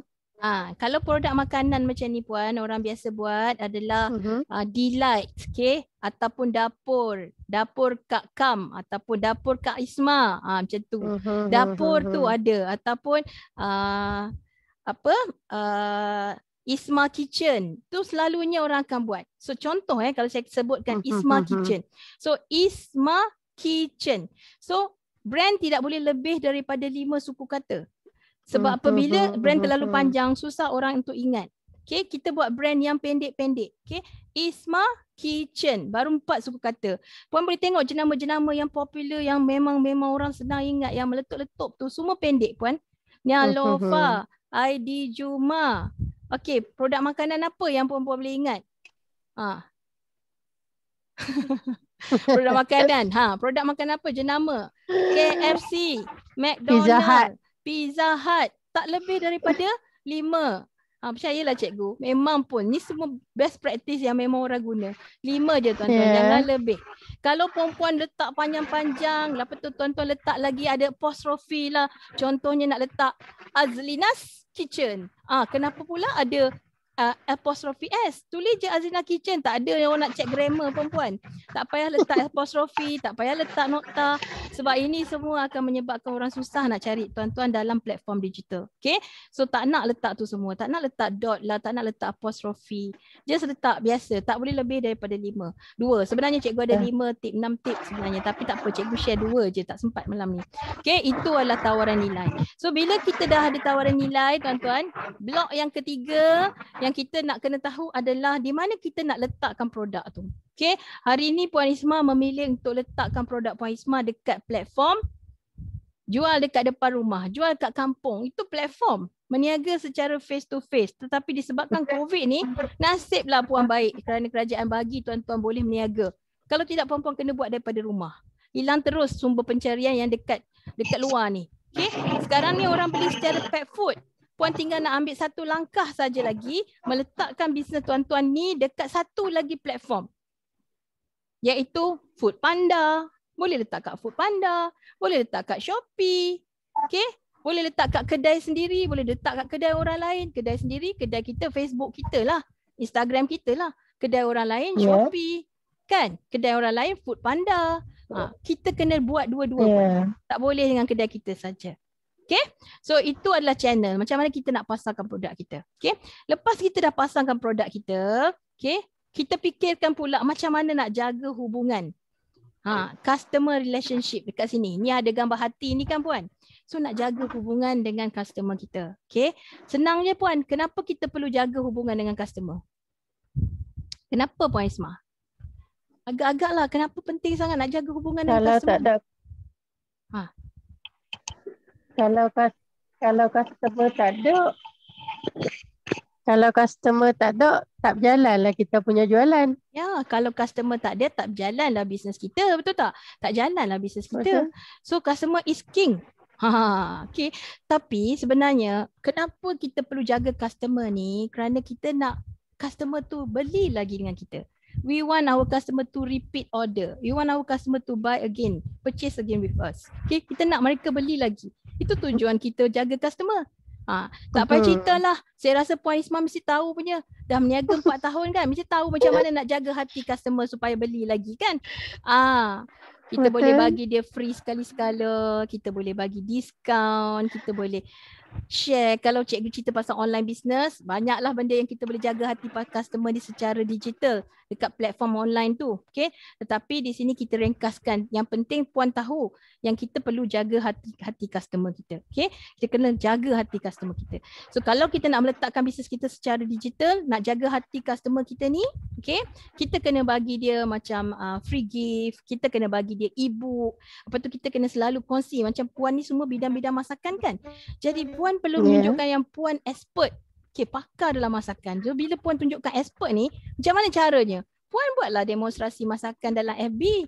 Buat live, okay. Hari ni Kak Isma nak tunjukkan cara macam mana nak buat nasi lemak sotong, sambal sotong. Okay. Sebab, alah senang je you all nak buat nasi lemak sambal sotong ni. Yang paling penting kena ada sotong lah. Okay. Boleh pilih sotong segar ke, sotong kering ke, apa-apa. Ah, macam tu Kak Isma. So Kak Isma buat secara live. So Kak Isma tak boleh malu-malu. Ah, nak buat bisnes online tak boleh malu-malu. Kita kena tonjolkan diri kita. Kalau rasa ada anak yang comel ke nak minta dia bantu mak, ah, mintalah dia promote sikit. Pun boleh je, tak ada masalah kan? Okay. So jaga hati customer. Okay, itu satulah. Okay. Dan kemudian banyak lagi blok yang keberapa ni? Lima. Ni semua dalam selai kertas je. Okay. Nanti perempuan kena buat ni tau. Ada tiga student saya ni, menti saya minta tolong, tolong buat ni. Cikgu nak tahu matlamat puan-puan. Okay. So bagaimana revenue ni stream ni, revenue stream ni adalah bagaimana cara ni kita nak generate pendapatan kepada perniagaan. Bagaimana kita nak mendapatkan pendapatan pada perniagaan kita. Okay. So bila kita nak macam cikgu cakap tadi, okay, selain daripada puan uh, Isma menjual secara sell, sell, selling ataupun buka satu kios menjual uh, nasi lemak dan kuih muih. Okay. Puan Isma juga boleh dapatkan pendapat, pendapatan sampingan melalui menjualan secara online. Okay, itu dah dua dah cara puan dapatkan pendapatan. Jual secara selling, uh, buka satu kios dengan buat secara online. Okay. Dan dan puan boleh buat lagi cara lagi satu. Nak generate lagi satu income. Dah masuk dua line dah. Dua cabang pendapatan puan dah masuk. Satu jual secara online, satu jual secara buka kios. Satu lagi puan boleh buat frozen. Frozen ni senang je. Ha, orang yang busy-busy mom ni semua, puan-puan frozen kan dia and then buat dia promosi dekat Facebook puan. Kemudian bila dia perlukan, puan just postkan. Ha, itu dah tiga dah cara puan generate revenue, generate pendapatan kepada bisnes puan. Okay, dalam hmm. business model canvas ni tuan-tuan, kita boleh nampak keseluruhan. Dekat sebelah sini je kita dah nampak dah. Sebelah kanan ni yang cikgu dah explain ni, kita dah nampak dah bagaimana cara kita nak dapatkan keuntungan kepada perniagaan. Apa yang kita perlu buat. Okay, apa yang kita perlu buat tu kita kena tengok dekat sebelah kiri ni pula yang saya akan explain. Okay, so apa yang kita perlu buat adalah melalui aktiviti. Sebelum kita pergi kepada aktiviti, kita kena tahu sumber dulu. Oh, saya part yang ni saya paling suka tahu kalau share pasal business model canvas ni tuan-tuan. Pasal apa dia sumber? Sebab ramai orang cakap dengan cikgu, ah, cikgu cakap senang lah nak ada sumber-sumber-sumber. Kami ni tak ada modal besar cikgu, macam mana nak buat bisnes? Boleh ke nak buat bisnes tak ada modal sekarang ni? Tak boleh. Boleh. Ambil orang lain punya barang jual. Ha, jual dekat kita punya platform digital. Kita kita tak ada kos apa-apa pun. Kita jual mempromosikan je. Nanti orang tu, seller tu yang akan postkan bagai-bagai. Dia yang akan. Kita cuma jual Alio je. Modal kita cuma Alio saja. Alio dengan kebolehan kita mengayat di dalam social media. Pak Isma. Tu, tu itu yeah. cakap lah. Tapi apa pun bisnes sebenarnya kena ada modal jugalah walaupun sedikit. Okay. Cikgu cerita pasal apakah dia sumber yang perlu kita ada sebelum kita mulakan satu perniagaan. Kalau kita ada sedikit, kita mulakan yang kecil. Kalau kita ada besar, kita boleh mulakan yang besar. Okay. Tetapi jangan ingat bila kita mula besar, kita akan terus dapat untung besar. Itu salah. Okay kita tidak boleh terus dapat keuntungan yang besar apabila kita mulakan perniagaan kita dengan besar dahulu. Lagi besar modal kita, lagi besar kita nak dapat lagi uh, keuntungan balik, dapat pulangan balik. Okay. First kali kita kena tahu 5M untuk kita tahu sumber yang apa yang kita dah ada. Okay. Sumber apa yang kita dah ada kita lihat daripada segi M yang pertama iaitu money. Okay. Money. Money tu kena tahu daripada mana kita nak dapatkan modal. Okay. Daripada kawan, daripada ahli keluarga, daripada banker, daripada siapa lagi? Funder-funder daripada geran kerajaan. Tadi saja dah ada kerajaan yang umumkan banyak bantuan kerajaan geran dan sebagainya. Tuan-tuan kena grab lah. Tuan-tuan kena pastikan tuan-tuan ada SSM. Puan Isma ada SSM? Ada SSM, syarikat, daftar syarikat? Belum ada cikgu. Oh, mustahak puan. Sekarang ni kerajaan ada bagi banyak bantuan. Tetapi kalau kita tak ada SSM, macam mana kita nak dapatkan bantuan tu puan? Itu penting untuk kita adakan dulu. Okay, SSM kena ada. SSM sangat penting. Okay, first kali money. Kedua adalah manpower. Manpower ni siapa nak buat kerja tadi? Nak dapatkan semua pendapatan yang cikgu cakap tadi tu siapa yang nak buat kerja? Ha, adakah puan seorang-seorang je buat kerja? Boleh Puan Isma buat kerja yang tiga-tiga tadi Puan seorang je nak buat? Tak boleh ke? Tak boleh. Tak boleh Puan lah nak masak dalam masa sama Puan juga nak buat marketing. Okay. Kalau kita betul-betul nak serius Puan dengan modal seribu setengah ni ataupun modal seribu ke lima ratus yang Puan ada, Puan mulakan bisnes Tetapi puan kena pastikan puan ada network, sistem dan sebagainya. Puan tak boleh bergerak seorang. Eh, tak boleh bergerak seorang. Kemudian kita ada M yang ketiga, lepas manpower kita kena ada material ataupun machine, material and machine. Okay? So dua tu lah, material, sumber. Okay, ataupun machine dululah. Macam mana nak buat tu? Dah tentu kalau puan nak buat bisnes nasi lemak ke, nak buat bisnes apa, nak kena ada dapur, nak kena ada mesin, nak ada blender, nak ada uh, oven dan sebagainya. Semua tu kena ada untuk kita mulakan bisnes. Okay. Yang keempat kita kena ada material, bahan-bahan mentah. Okay. Dan yang terakhir sekali kita kena ada method. Method ni penting. Ah Ini yang terjadi banyak. Puan nak buat bisnes frozen. Okay. Bila kita nak buat bisnes frozen ni puan, Hari ni kita pack, huh, semangat mulakan bisnes semua sedap-sedap letak semua kari lebih lah, lebih kentang lebih lah, daging lebih lah, apa semua lebih. Okay, kita pun pack. Terjual lah 100 bungkus tu. Sekejap je dalam satu hari, 100 bungkus. Tetapi besoknya bila puan buat balik, dah rasa dah tak sama. Kentang dah semakin kurang, kari dah semakin kurang. Okay, daging dah tak banyak dah jual. Kenapa tak habis? Semalam boleh laku 100, hari ni cuma 50 je laku. 50 lagi tak laku. Kenapa? Because of bila puan buat produk, puan tak jaga method. Okay, puan tak jaga method lah. Method tu proses. Kaedah yang kita gunakan dalam kita menghasilkan produk. Benda ni perlu ada perlu ada uh, standardization. So itulah sebabnya kalau katalah eh kita masuk kedai mamak eh kedai mamak eh kenapa kedai mamak dari pagi sampai malam penuh aja. Orang cakap sebab servis dia lah, sebab dia ada LED lah, sebab dia ada skrin putih besar lah. Okay, tetapi sebenarnya bukan kerana itu semua puan, kerana method. Okay? Puan masuklah kedai mamak 10 kali pun tetapi rasa teh tarik tetap sama. Okay, pagi minum yang tu rasa yang sama. Tengah hari minum rasa sama. Malam pun rasa sama juga. Sebab dia jaga standard method dia. Eh, method dia. So itu adalah uh, uh, apa tu? dari segi mm, apa ni uh, key resources sumber okey kemudian baru kita tengok kepada activity apakah activity untuk menghasilkan tadi generate nak generate income tu tadi apa activity yang kita perlu hasilkan okey apa activity yang kita perlu buat? Apa action yang kita perlu ambil? Okey activity yang kita perlu buat dekat sini adalah activity menjual. Okay, aktiviti menjual, aktiviti mengeluarkan kuih-kuih perempuan tu proses pengeluaran, itu aktiviti dia. Aktiviti promosi melalui platform social media, marketing, ha, itu aktiviti dia. Ha, yang perempuan kena buat. Okay, so dari segi partner, okay, partner ni adalah orang yang berhubung atau yang berkaitan dengan puan dalam uh, proses tuan nak jual produk ni. Okay, kalau um, tuan-tuan dan perempuan ni mulakan bisnes, okay, online. Okay, mulakan bisnes online. Kata tadi Puan Nina eh. Puan Nina tadi buat uh, jual kuih frozen tapi bukan Puan Nina punya sendiri. Tetapi kawan Puan Nina punya. Okay. Puan Nina boleh buat ju- boleh jual kat Shopee pun sebenarnya. Boleh jual kat Facebook pun. Jual dekat Food Panda pun boleh. Tetapi produk tu tak perlu ada kat Puan Nina. Ada dekat orang lain. Okay. Supplier yang bekalkan food pan, uh, bekalkan frozen pada puan tu perlulah dekat dengan puan. Okay? Dan tak boleh satu.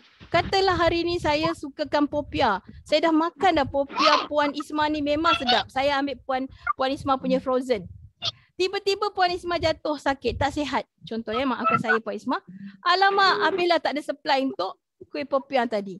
So kita kena ada tiga pembekal sekurang-kurangnya yang boleh keluarkan satu kuih frozen yang sama sedap macam puan Isma buat. Okay, so kena ada tiga pembekal yang sama. So dengan cara ni tuan-tuan tuan-tuan tak perlu pun ada barang dengan tuan-tuan. Tetapi tuan-tuan boleh letakkan produk tuan-tuan dekat uh, berbagai marketplace yang ada lah dekat uh, digital platform dan sebagainya. Okay, itu partner. Okay, so yang ni last sekali adalah uh, cost structure. Okay, cost, struktur cost. Okay, struktur cost ni yang selalu cikgu ceritakan adalah apakah kita punya aset dalam perniagaan kita apakah tanggungan kita? Apakah yang kita perlu bayar setiap bulan daripada aset tu? Uh, uh, uh, daripada perniagaan tu? Tanggungan kita maybe kita kena bayar gaji orang yang tolong kita buat kuih ke? Okay kita kena bayar kos periklanan ke? Kita kena bayar apa tanggungan yang kita perlu ada. Dan di sini juga penting untuk kita tentukan harga tuan-tuan. Dekat cost structure ni kita perlu tentukan harga. Okay tentukan harga berdasarkan variable cost, okay? Apa cost yang terlibat? Overhead cost. So kita kiraan dia lah adalah kiraan dia untuk menentukan harga jualan. Okay. Berapa harga jualan? Okay. Harga cost dengan harga jualan. Berapa profit margin? Kalau Puan Isma buat uh, produk makanan ni, okay, siapa pun mulakan bisnes dengan produk makanan, profit margin tak besar tuan-tuan. Profit margin kecil. 20, 15 profit margin. Okay, untung tak besar tetapi penggunaan produk ini sangat tinggi. So orang guna banyak tapi untung dia memang tak besar. Profit margin dia kecil. So bila puan-puan nak buat sistem dropship, nak bagi orang lain tolong jual produk puan, buat frozen food dan sebagainya, puan-puan lah kena tentukan puan sebagai pengeluar, main seller, okay, berapa puan-puan nak kena bagi kepada ejen-ejen orang yang akan menjual produk puan. Berapa persen pula nak bagi kat dia orang. Okay, nak bagi kat dia orang. So kita kena tentukan Kemudian kita pergi kepada uh, itulah semua sembilan building block yang cikgu dah sharekan pada tuan-tuan dan puan-puan. Okay, sebab tak boleh nak laju, nak pelan-pelan masa pun sangat mencemurui kita. Okay, ini business model canvas keseluruhannya yang cikgu dah terangkan satu persatu. Okay, kalau nak tahu lebih lanjut tak tak tak, tak jelas boleh je PM cikgu, tanya cikgu WhatsApp cikgu, cikgu akan jelaskan lagi lah. Okay, so ini adalah uh, contoh eh uh, macam mana contohlah eh katalah sekarang ni tuan-puan ni nak jual air limau. Okey, nak jual air limau ataupun puan-puan puan Isma dah jual kuih dan nasi lemak. Okey. Puan ni nak jual ke, nasi lemak tu kepada penduduk kan, kampung. Customer adalah penduduk kampung. Masalah mereka adalah mereka tak ada kedai yang dekat-dekat dengan kampung untuk beli makanan pagi, Uh, so itu masalah. So dengan caranya saya menjual produk ini akan memudahkan diorang uh, dapatkan makanan pada waktu pagi. Contohnya macam itulah masalah diorang. Okay. Wow, dah semakin sikit dah ni. Okay, so tak apa. Puan Fuzah, kita teruskan.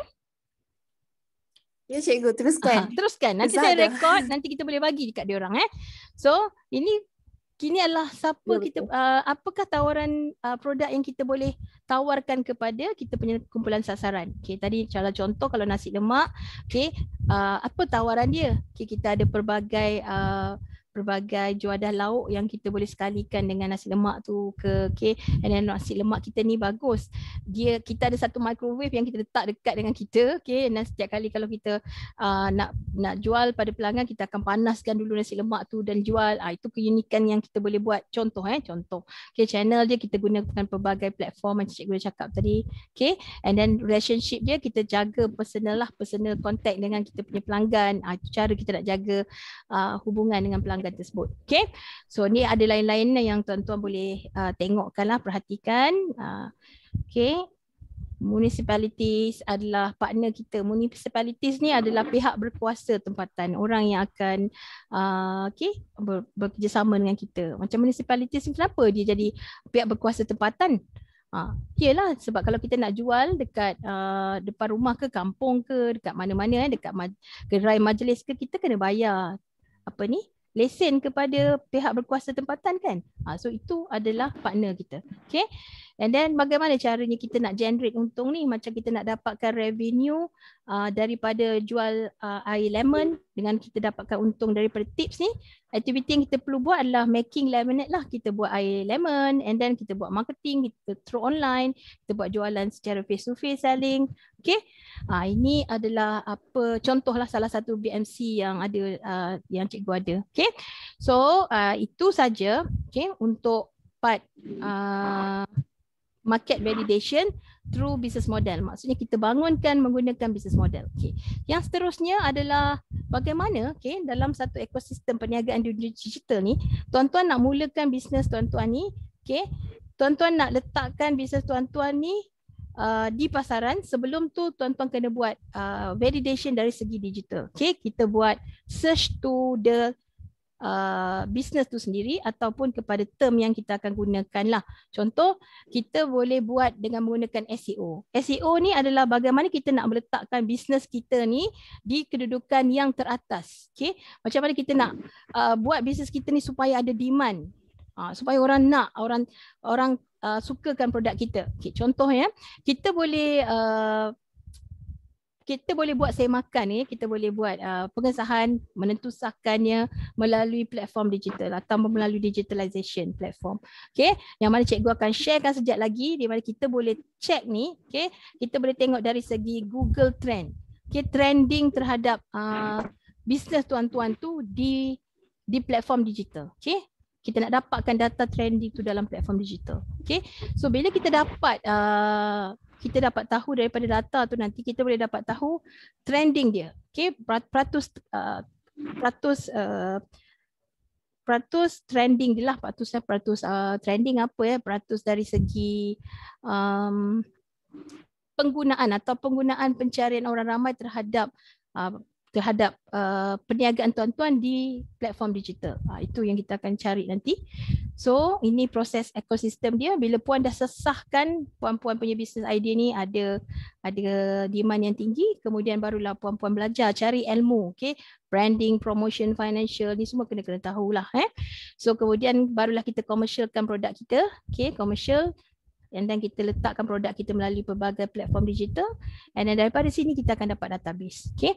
Ini adalah ekosistem perniagaan digital. Okay. So kita mulakan bagaimana caranya tuan-tuan dan puan-puan. Puan Isma, Puan Isma dah hang kat situ. Okay. Bagaimana caranya? Cikgu nak stop sharing dulu. Cik Haikal ada lagi ke kat sini?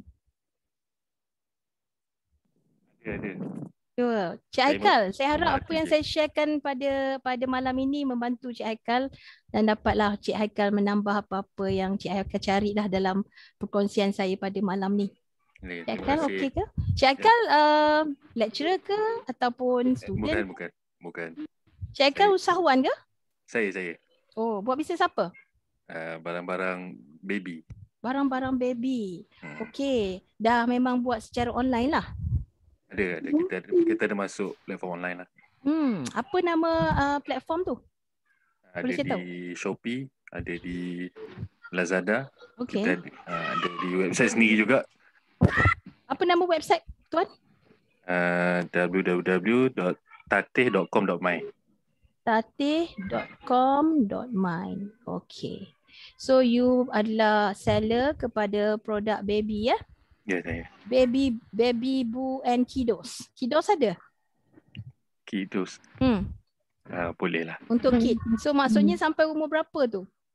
Basically dia sampai lebih kurang uh, barang produk daripada newborn sampai 4 tahun lah. Oh, newborn sampai 4 tahun eh. So tak ada kiddos lah. So ini baby kiddos ni boleh add on lah nanti sebab tapi tak tahulah kalau Cik Haikal maybe you punya keunikan bisnes Cik Haikal hanya memfokuskan kepada newborn baby punya produk. Hmm. Okay, tetapi kita kan kena diversify, kita kena ada varieties kan. So uh, maybe boleh create another another uh, product line lah Okay, sebab macam yang cikgu ada beritahu daripada peringkat awal tadi, kalau kita nak generate income, kita tak boleh nak generate daripada satu sumber saja. Okay, kita kena ada generate uh, daripada berbagai sumber tetapi dengan dalam bidang yang sama juga. Okay, uh, so far macam mana bisnes? Uh, okay, okay. Tapi PKP ni terganggu sikit lah. Oh, terganggu. Mm-hmm. Terganggu tu mungkin tak cukup promotion ke? Cik, Cik uh, Haikal tak cuba buat FB Live? Uh, ada, ada Shopee buat live juga. ke? Ada buat? Ada, ada. Wah, you buat daripada platform apa? Uh, di FB Live pun ada, di sekarang kita banyak dekat Shopee Live pun ada. Hmm. Uh, kat Instagram pun kita buat juga. Okay. Uh. Boleh cuba buat dekat FB Live tapi you join group uh, Terbaik e-store. Dah pernah cuba? Belum lagi terbaik okay. e-store ya. Ah terbaik e-store. Dia sangat membantu sebab apa follower dia pun ramai, okay? You hmm. kena cari group-group yang memang uh, kalau you tahu kan kalau you jual uh, kidos ni dah tentu you kena you tak kena tahu siapa you punya target market. Okay. Dan kalau you dah tahu siapa target market ni you buat FB live dekat dalam persatuan penduduk. Contohnya kalau puan tinggal uh, tuan tinggal kat Shah Alam, persatuan penduduk Shah Alam, buat live kat situ. Okay. Ah, kita kena cari kat mana ada crowd. Okay, memang platform tu, platform tu tidak dia ada di situ tetapi kita kena tarik orang pergi ke platform tu. Kalau tidak orang tak tahu. Betul dah buat dekat Lazada, dekat Shopee sebab apa? Berapa eh tak silap saya? Million of user every day uh, apa tu? Uh, melawat uh, platform ini. Okay. Uh, dan yang, yang bagusnya kita orang kita ni customer pergi cari platform tu dan kita tak perlu nak buat marketing. Orang yang akan cari kita bila kita ada dekat Shopee dan Lazada. Okay. Dan uh, Shopee dan Lazada dah buatkan free marketing untuk kita. Itu baguslah. Tetapi untuk brand awareness orang tak tahu. Tatih.com saya tak tahu. So macam mana puan uh, tuan nak create lagi uh, your brand brand awareness supaya orang kenal tati.com ni sebagai satu platform untuk mencari pakaian uh, pakaian kanak-kanak. Okay? Alright. Terima kasih, terima kasih. Sama-sama. Okay, so kita pergi kepada Puan Isma, okay? Dah kembali? Ya, saya cikgu. Okay. Saya nak dengar lah suara saya punya doktor walaupun dia adalah orang kata, dia kata saya masuk, saya nak tengok. Tapi mungkin uh, tak apalah dia pendengar setia pada malam ini lah kot. Okay, kita pergi kepada sambungan. Okay, yang macam tadi cikgu kata, cikgu nak sharekan bagaimana caranya kita nak tahu uh, permintaan orang ramai terhadap produk kita ni. Kita nak menentusahkan uh, produk kita ni sama ada ada demand secara online atau tidak di dalam platform digital ke tidak. Okay, so kita ke, pergi kepada uh, Google. Okay, kita mesti berada di Google dulu. Keluar.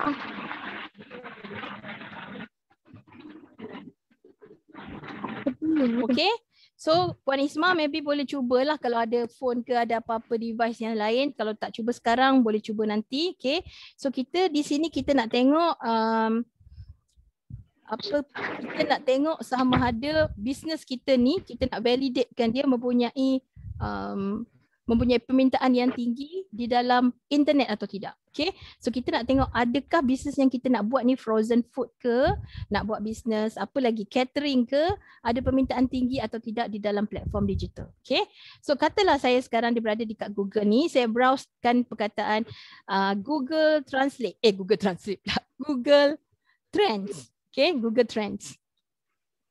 Ah, Google Trends. Okay, ejaan yang pertama tu T-R-E-N-D-S. Okay, Google Trends. Okay, kita dah letak yang tu. So, kita akan dapat Google Trends yang ni. Okay, yang atas sekali ni tuan-tuan, Google Trends. Okay, yang ni kita klik yang ini, Google Trends. Okay. Tujuannya tadi kenapa kita perlu masuk ke valid, uh, ke Google Trend kerana kita nak validate sama ada bisnes yang kita nak buat ni, okay, ada adakah mempunyai permintaan yang tinggi atau tidak di dalam pasaran. Okay. So di sini ada banyak lagi platform lain tetapi yang cikgu boleh cakap yang mudah dan yang percuma okay, adalah Google Trends. Okay. Kemudian tuan-tuan pergi dekat atas ni. Sebenarnya dia ada gambar globe kat sini. Okay, atas kali ni adalah negeri. Kita nak tengok kat mana trend tu. Kita nak tengok secara worldwide ke ataupun kita nak fokus pada Malaysia saja. So kalau kita nak fokus pada Malaysia, kita select Malaysia saja. Okay, kita select Malaysia saja.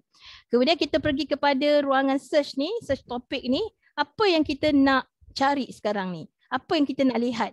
So apa yang anda rasa kalau orang pergi uh, dia nak melihat bisnes anda, okay, dia nak tahu, nak dapatkan sesuatu tu, apa keyword yang akan dia nak masukkan? Apa keyword yang dia nak gunakan?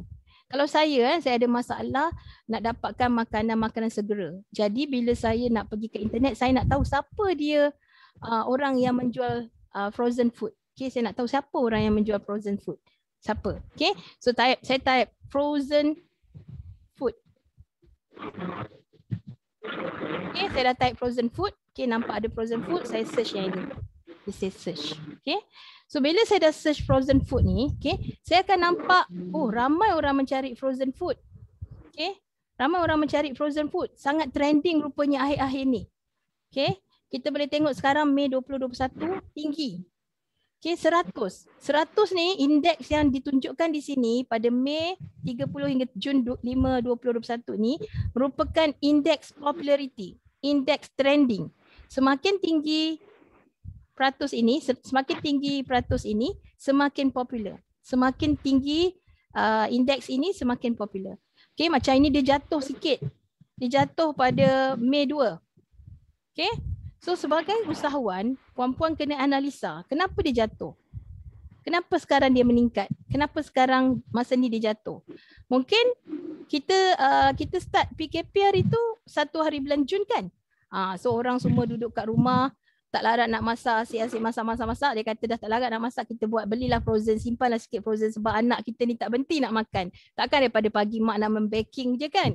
So simpan sikit frozen food. Uh, so dapatlah masak untuk dia orang, sentiasa ada makanan kat rumah.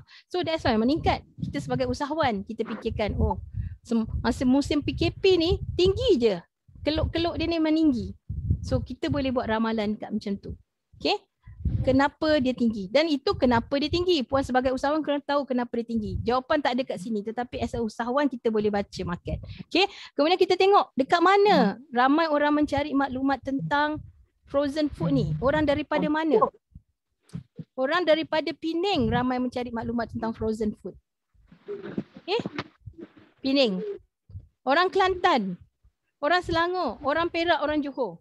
Orang Perlis orang Kedah. tak nampak tak nampak? Tak.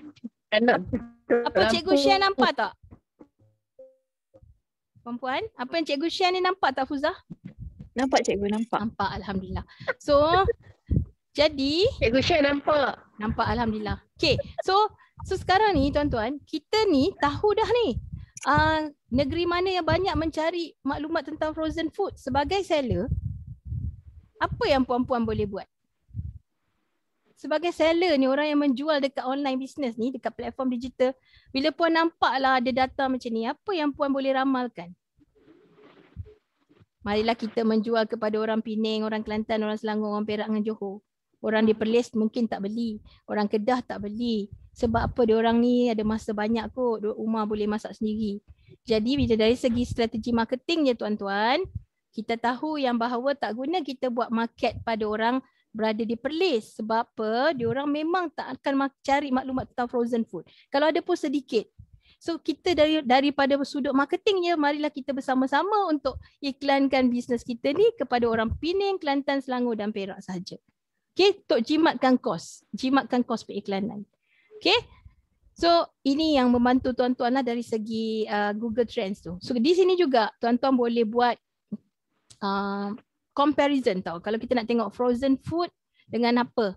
Uh, halal frozen food. Uh, kita nak macam ni. Halal frozen food. Kita nak comparekan dia. Uh. Uh. Orang cari type banyak guna cari atas atas nama frozen food saja bukan halal frozen food. Okay? So dia tak gunakan halal frozen food tapi ramai menggunakan frozen food lagi. Okay, tak ada masalah. Dari segi marketing, eh kenapa lah saya ni guna halal food, halal frozen food? Tak, halal frozen food tu ada, ada permintaan juga. Jadi keyword halal frozen food ni tuan-tuan boleh gunakan untuk tuan-tuan letak sebagai hashtag ke, okay, nak letakkan dia sebagai uh, apa ni, uh, copywriting tuan-tuan sebagai headline ke pun boleh. Okay, so pun boleh sebab dia ada, still ada ada trending kat sini. Okay. Hmm. Membantu tak tuan-tuan? Ini yang cikgu boleh share tentang Google Trend. Apa saja yang tuan-tuan nak buat bisnes? Okay, baju baby. Contoh kan, tadi kita kata uh, kita tengok Okay, kita tengok uh, baby cloth. Okay, baju baby dengan kita nak cari baby cloth and then kita nak comparekan dengan kita nak comparekan dengan kit cloth. Okay. Kau nak type dalam bahasa Melayu pun boleh, nak type dalam bahasa Inggeris pun boleh, tak ada masalah. Okay. Dua-dua pun kita boleh tengok trending dia. Sebab di sini adalah penggunaan nama tu sebenarnya. Penggunaan nama yang kita nak letakkan. Uh, okay. So apa ni yang merah tadi apa? Kid clothes. Kat sini tak ada tak ada demand sangat eh. Tapi baby clothes ada. Mungkin namanya tak sesuai lah eh. Nama dia mungkin kalau saya buat baju kanak-kanak dengan baju bayi ah, ada nampak perbezaan sedikit lah. Okay. So ini yang kita kena boleh study. Dari sini kita study. Kita buat validasi. Kita validate. Kita validate ah, idea kita tadi melalui platform digital. Okay. Tuan-tuan boleh gunakan um, answer the public juga. Okay, answer the public.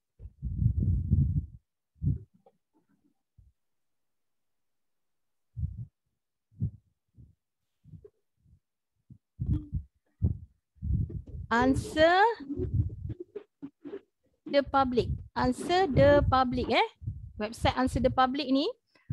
Okay, kita boleh tengok apa keyword-keyword yang kita nak gunakan dalam kita punya copywriting. Okay.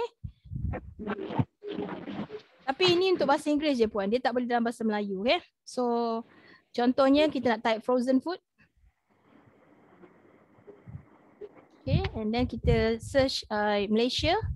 Dekat sini kita search Malaysia.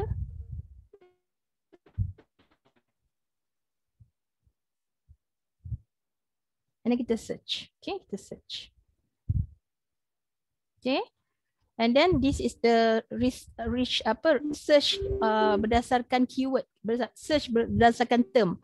So kita nak tengok ada ada result apa eh apa benda uh, berkaitan dengan uh, term yang kita gunakan tadi frozen food okay yang boleh bagi idea copywriting pada kita. Yang boleh bagi idea untuk kita buat ayat. Apa yang orang suka nak baca okay ada uh, frozen food box or recyclable uh, frozen food healthy uh, so benda-benda ni bagi idea puan banyak benda yang puan-puan boleh bagi idea pada penulisan uh, pro, uh, apa tu produk puan tadilah kalau kita nak letak di platform digital okay And then preposition dia, apa yang kita boleh buat? Ha, frozen food ni, ha, nak, kita nak fikir apa yang unik. Kat sini dia boleh bantu tuan-tuan sebenarnya. Macam mana kita nak come out dengan frozen food yang unik? Puan ni hanya specialize kepada frozen food for kids only. Lepas tu boleh jual dekat kedai uh, Cik Haikal tadi. Tumpang kat situ. Okay, dia jual untuk baby kan? Frozen food for baby ke? Uh, frozen food baby tak bagus makan frozen food kan? Ah tak bagus. Kena buat sendiri yang fresh-fresh. Okay, frozen food for diabetic. Ah itu ke keunikan kita, kita kena cari. Ini proposition dia. Kalau tak ada idea puan-puan just type keyword tadi dekat answer the public dan tuan-tuan boleh dapat idea dari sinilah. Frozen food near me, frozen food near. Benda-benda ni perlu ada dalam copywriting tuan-tuan dan boleh jadikan sebagai kita punya USP juga. Okay? So this is the way we want to validate our idea through digital platform. Cikgu dah beritahu dua dah cara. Satu is Google Trend. Yang kedua adalah answer the public. So ada apa-apa tak pertanyaan so far? Dah dekat dua jam sharing cikgu hari ini.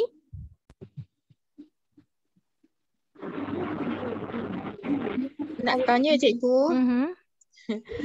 Uh, kalau frozen kalau frozen frozen food tu ada yeah. uh, produk. Uh, tapi dia memang jauh dekat dalam pendalaman kawasan pendalaman.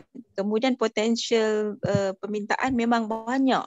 Bila saya test uh, market saja viralkan pakai WhatsApp status tu ramai yang order. So hmm. dalam tempoh empat mal empat hari uh, ordernya melebihi seribu. Uh. seribu unit uh, benda tu lah. Hmm. Tapi masalahnya tak boleh nak caterkan kepada customer sebab uh, masalah nak nak nak post postage. Hmm. Maknanya GNT pun tak nak uh, semua tak semua tak tak tak nak tak nak buatlah dengan frozen food ni. Ah, itu masalahnya dengan frozen food. Benda tu ada penyelesaian ke? Okay. So uh, Terima kasih Dr. Hasni. Soalan Dr. tu sangat baik lah. Okay. So memang kita nak membantu usahawan kecil dekat luar. Okay. Usahawan kecil ni ada produk yang baik dan ada berpotensi. Dan kami ni dekat bandar-bandar ni orang kata memerlukan sangat produk perempuan. Kerana, kerana ke, uh, secara uh, basicnya orang cakap orang bandar yang sibuk bekerja and then tak sempat nak buat macam-macam. Jadi bila once kami ni uh, geng-geng apa yang berkejaya ni buat promosi tolong produk-produk tuan-tuan dan perempuan memang ada permintaan tetapi masalahnya kita hadapi uh, produk puan ni datang daripada agak kawasan yang agak terpencil. Okay, contoh eh uh, kalau kalau kita nak market through digital kita dah memang bersedia untuk pergi mass production. Kita dah mass market. So we are ready to enter the mass market. So dari segi capacity, puan juga kena bersedia dari segi mass market. So operation puan pun dah kena mass market. Sebagai seorang usahawan tadi cikgu dah sharekan uh, business model canvas kan. Cikgu dah cakap pasal uh, kita punya key resources, sumber tu. Okay, so bila kita dah bersedia untuk masuk mass market, kita kena bersedia dari segi sumber kita. Sumber kita manpower kita. Siapa yang nak buat seribu unit ni? Okay, kita macam cikgu cakap kita dah tak tak tak sesuai lagi bekerja seorang diri. Kita kena ada pekerja. Okay. Tetapi sebelum kita masuk mass market dulu, kita boleh test produk kita. Kita boleh tengok kita punya uh, market trending. Kita boleh test market dulu produk kita. Uh, mungkin seller puan boleh pesan kepada semua seller-seller yang ada macam Puan Isma adalah uh, seller yang berada di, di kawasan uh, agak pendalaman sick saya dengar internet pun kurang uh, tu susah dapat bekalan. Dengan semua seller yang membantu tuan-tuan tuan-tuan boleh cakap okey saya minta bantuan puan-puan ni untuk ambil custom uh, apa tu? Pre-order dulu okey custom order okey kita nak kita nak customizekan dia. Kita tak boleh buat terus uh, mass okey okey uh, puan uh, kita nak buat pengeluaran ni adalah order yang kita akan tutup pada hari ini okey hari ini dan produk apa pengedaran ni ataupun uh, produk yang akan tuan-tuan dapat ni adalah dalam tempoh satu minggu lagi ke dua minggu lagi. So sistem pre-order ni sangat membantu kepada orang-orang yang buat business food ni. Okay, so puan-puan hanya akan uh, mengeluarkan produk tuan-tuan apabila ada permintaan. Okay, itu peringkat awal. Tetapi bila puan-puan dah bersedia dari segi tim, dah ramai tim, tuan-tuan memang boleh pergi mass market. Ha, tuan-tuan masa tu dah tak ada masalah lah untuk JNT dan sebagainya courier service itu adalah partner kita. Ha, so partner pun sama juga dengan kita berniaga dekat Shopee. So kita dah tahu kalau tak adanya partner-partner yang akan menghantar barang-barang kita kalau dahulunya uh, courier tu kita boleh pilih kita nak JNT ke kita nak uh, apa tu uh, nak post laju ke nak apa macam-macam lah yang JNT ada tu kita boleh pilih tetapi hari ni Shopee pun dah tak terlayan so siapa saja yang dirasa boleh masuk dekat situ untuk menghantar produk kita dia akan masuk so puan sebelum nak mulakan bisnes puan Puan Isma berada di SIG. Okay. Saya pun rasanya tak pernah sampai ke tidak SIG ni. Saya rasa saya pernah sampai. Okay. Puan dah kena study dulu puan. Saya nak pergi math cikgu. Saya semangat lepas dengar cikgu Cik punya kelas. Contoh eh. Jadi saya bersedia untuk pergi math. Tetapi sebelum puan pergi math, puan kena check dulu mana courier service yang puan akan gunakan untuk post. Okay, siapa pembekal bahan utama tuan-tuan tu? Adakah dia dekat Adakah tuan-tuan nak pergi mes ni dengan bantuan beberapa orang ahli keluarga lain? Itu semua kita kena tentukan dulu sebelum kita nak mass production. Kita nak mass market lah untuk pergi secara luas. Okay. So macam uh, uh, banyak eh uh, produk-produk jenama yang berada dekat uh, pasaran. Contohnya saya ada seorang rakan ni dia buat bisnes Jekyll. Dia ada dia adalah pengurus Jekyll dekat Johor. Okay. Dalam keadaan pandemik ni keadaan bisnes ni sangat teruk. Kenapa? Kerana dia are, they, uh, they are not ready for mass online. Dia tak ready untuk mass online lagi.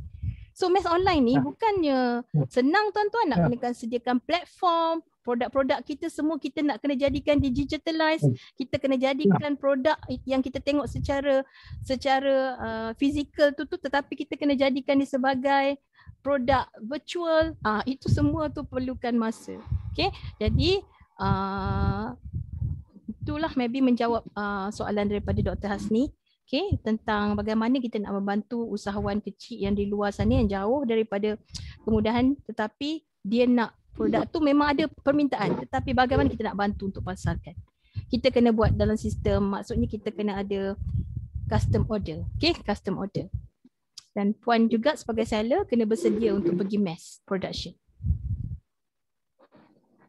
Okay ada. Salam Cikgu Rosita. Terima kasih kerana membenarkan saya dalam Zoom ni. Okay, Nak Azwan. Tak tahu ni close group. Saya silent listener.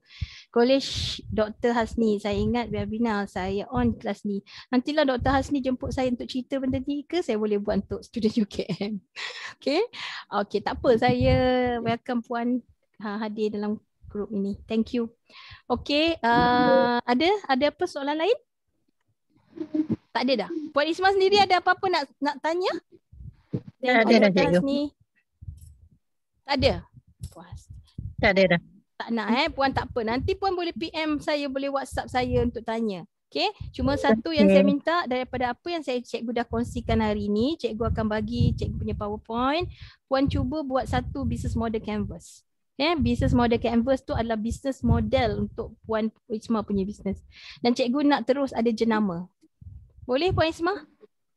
Okay, insyaAllah boleh. Okay. Puan Isma, Puan Aziah dan juga Puan Nina. Ha, okay, tolong buatkan business model.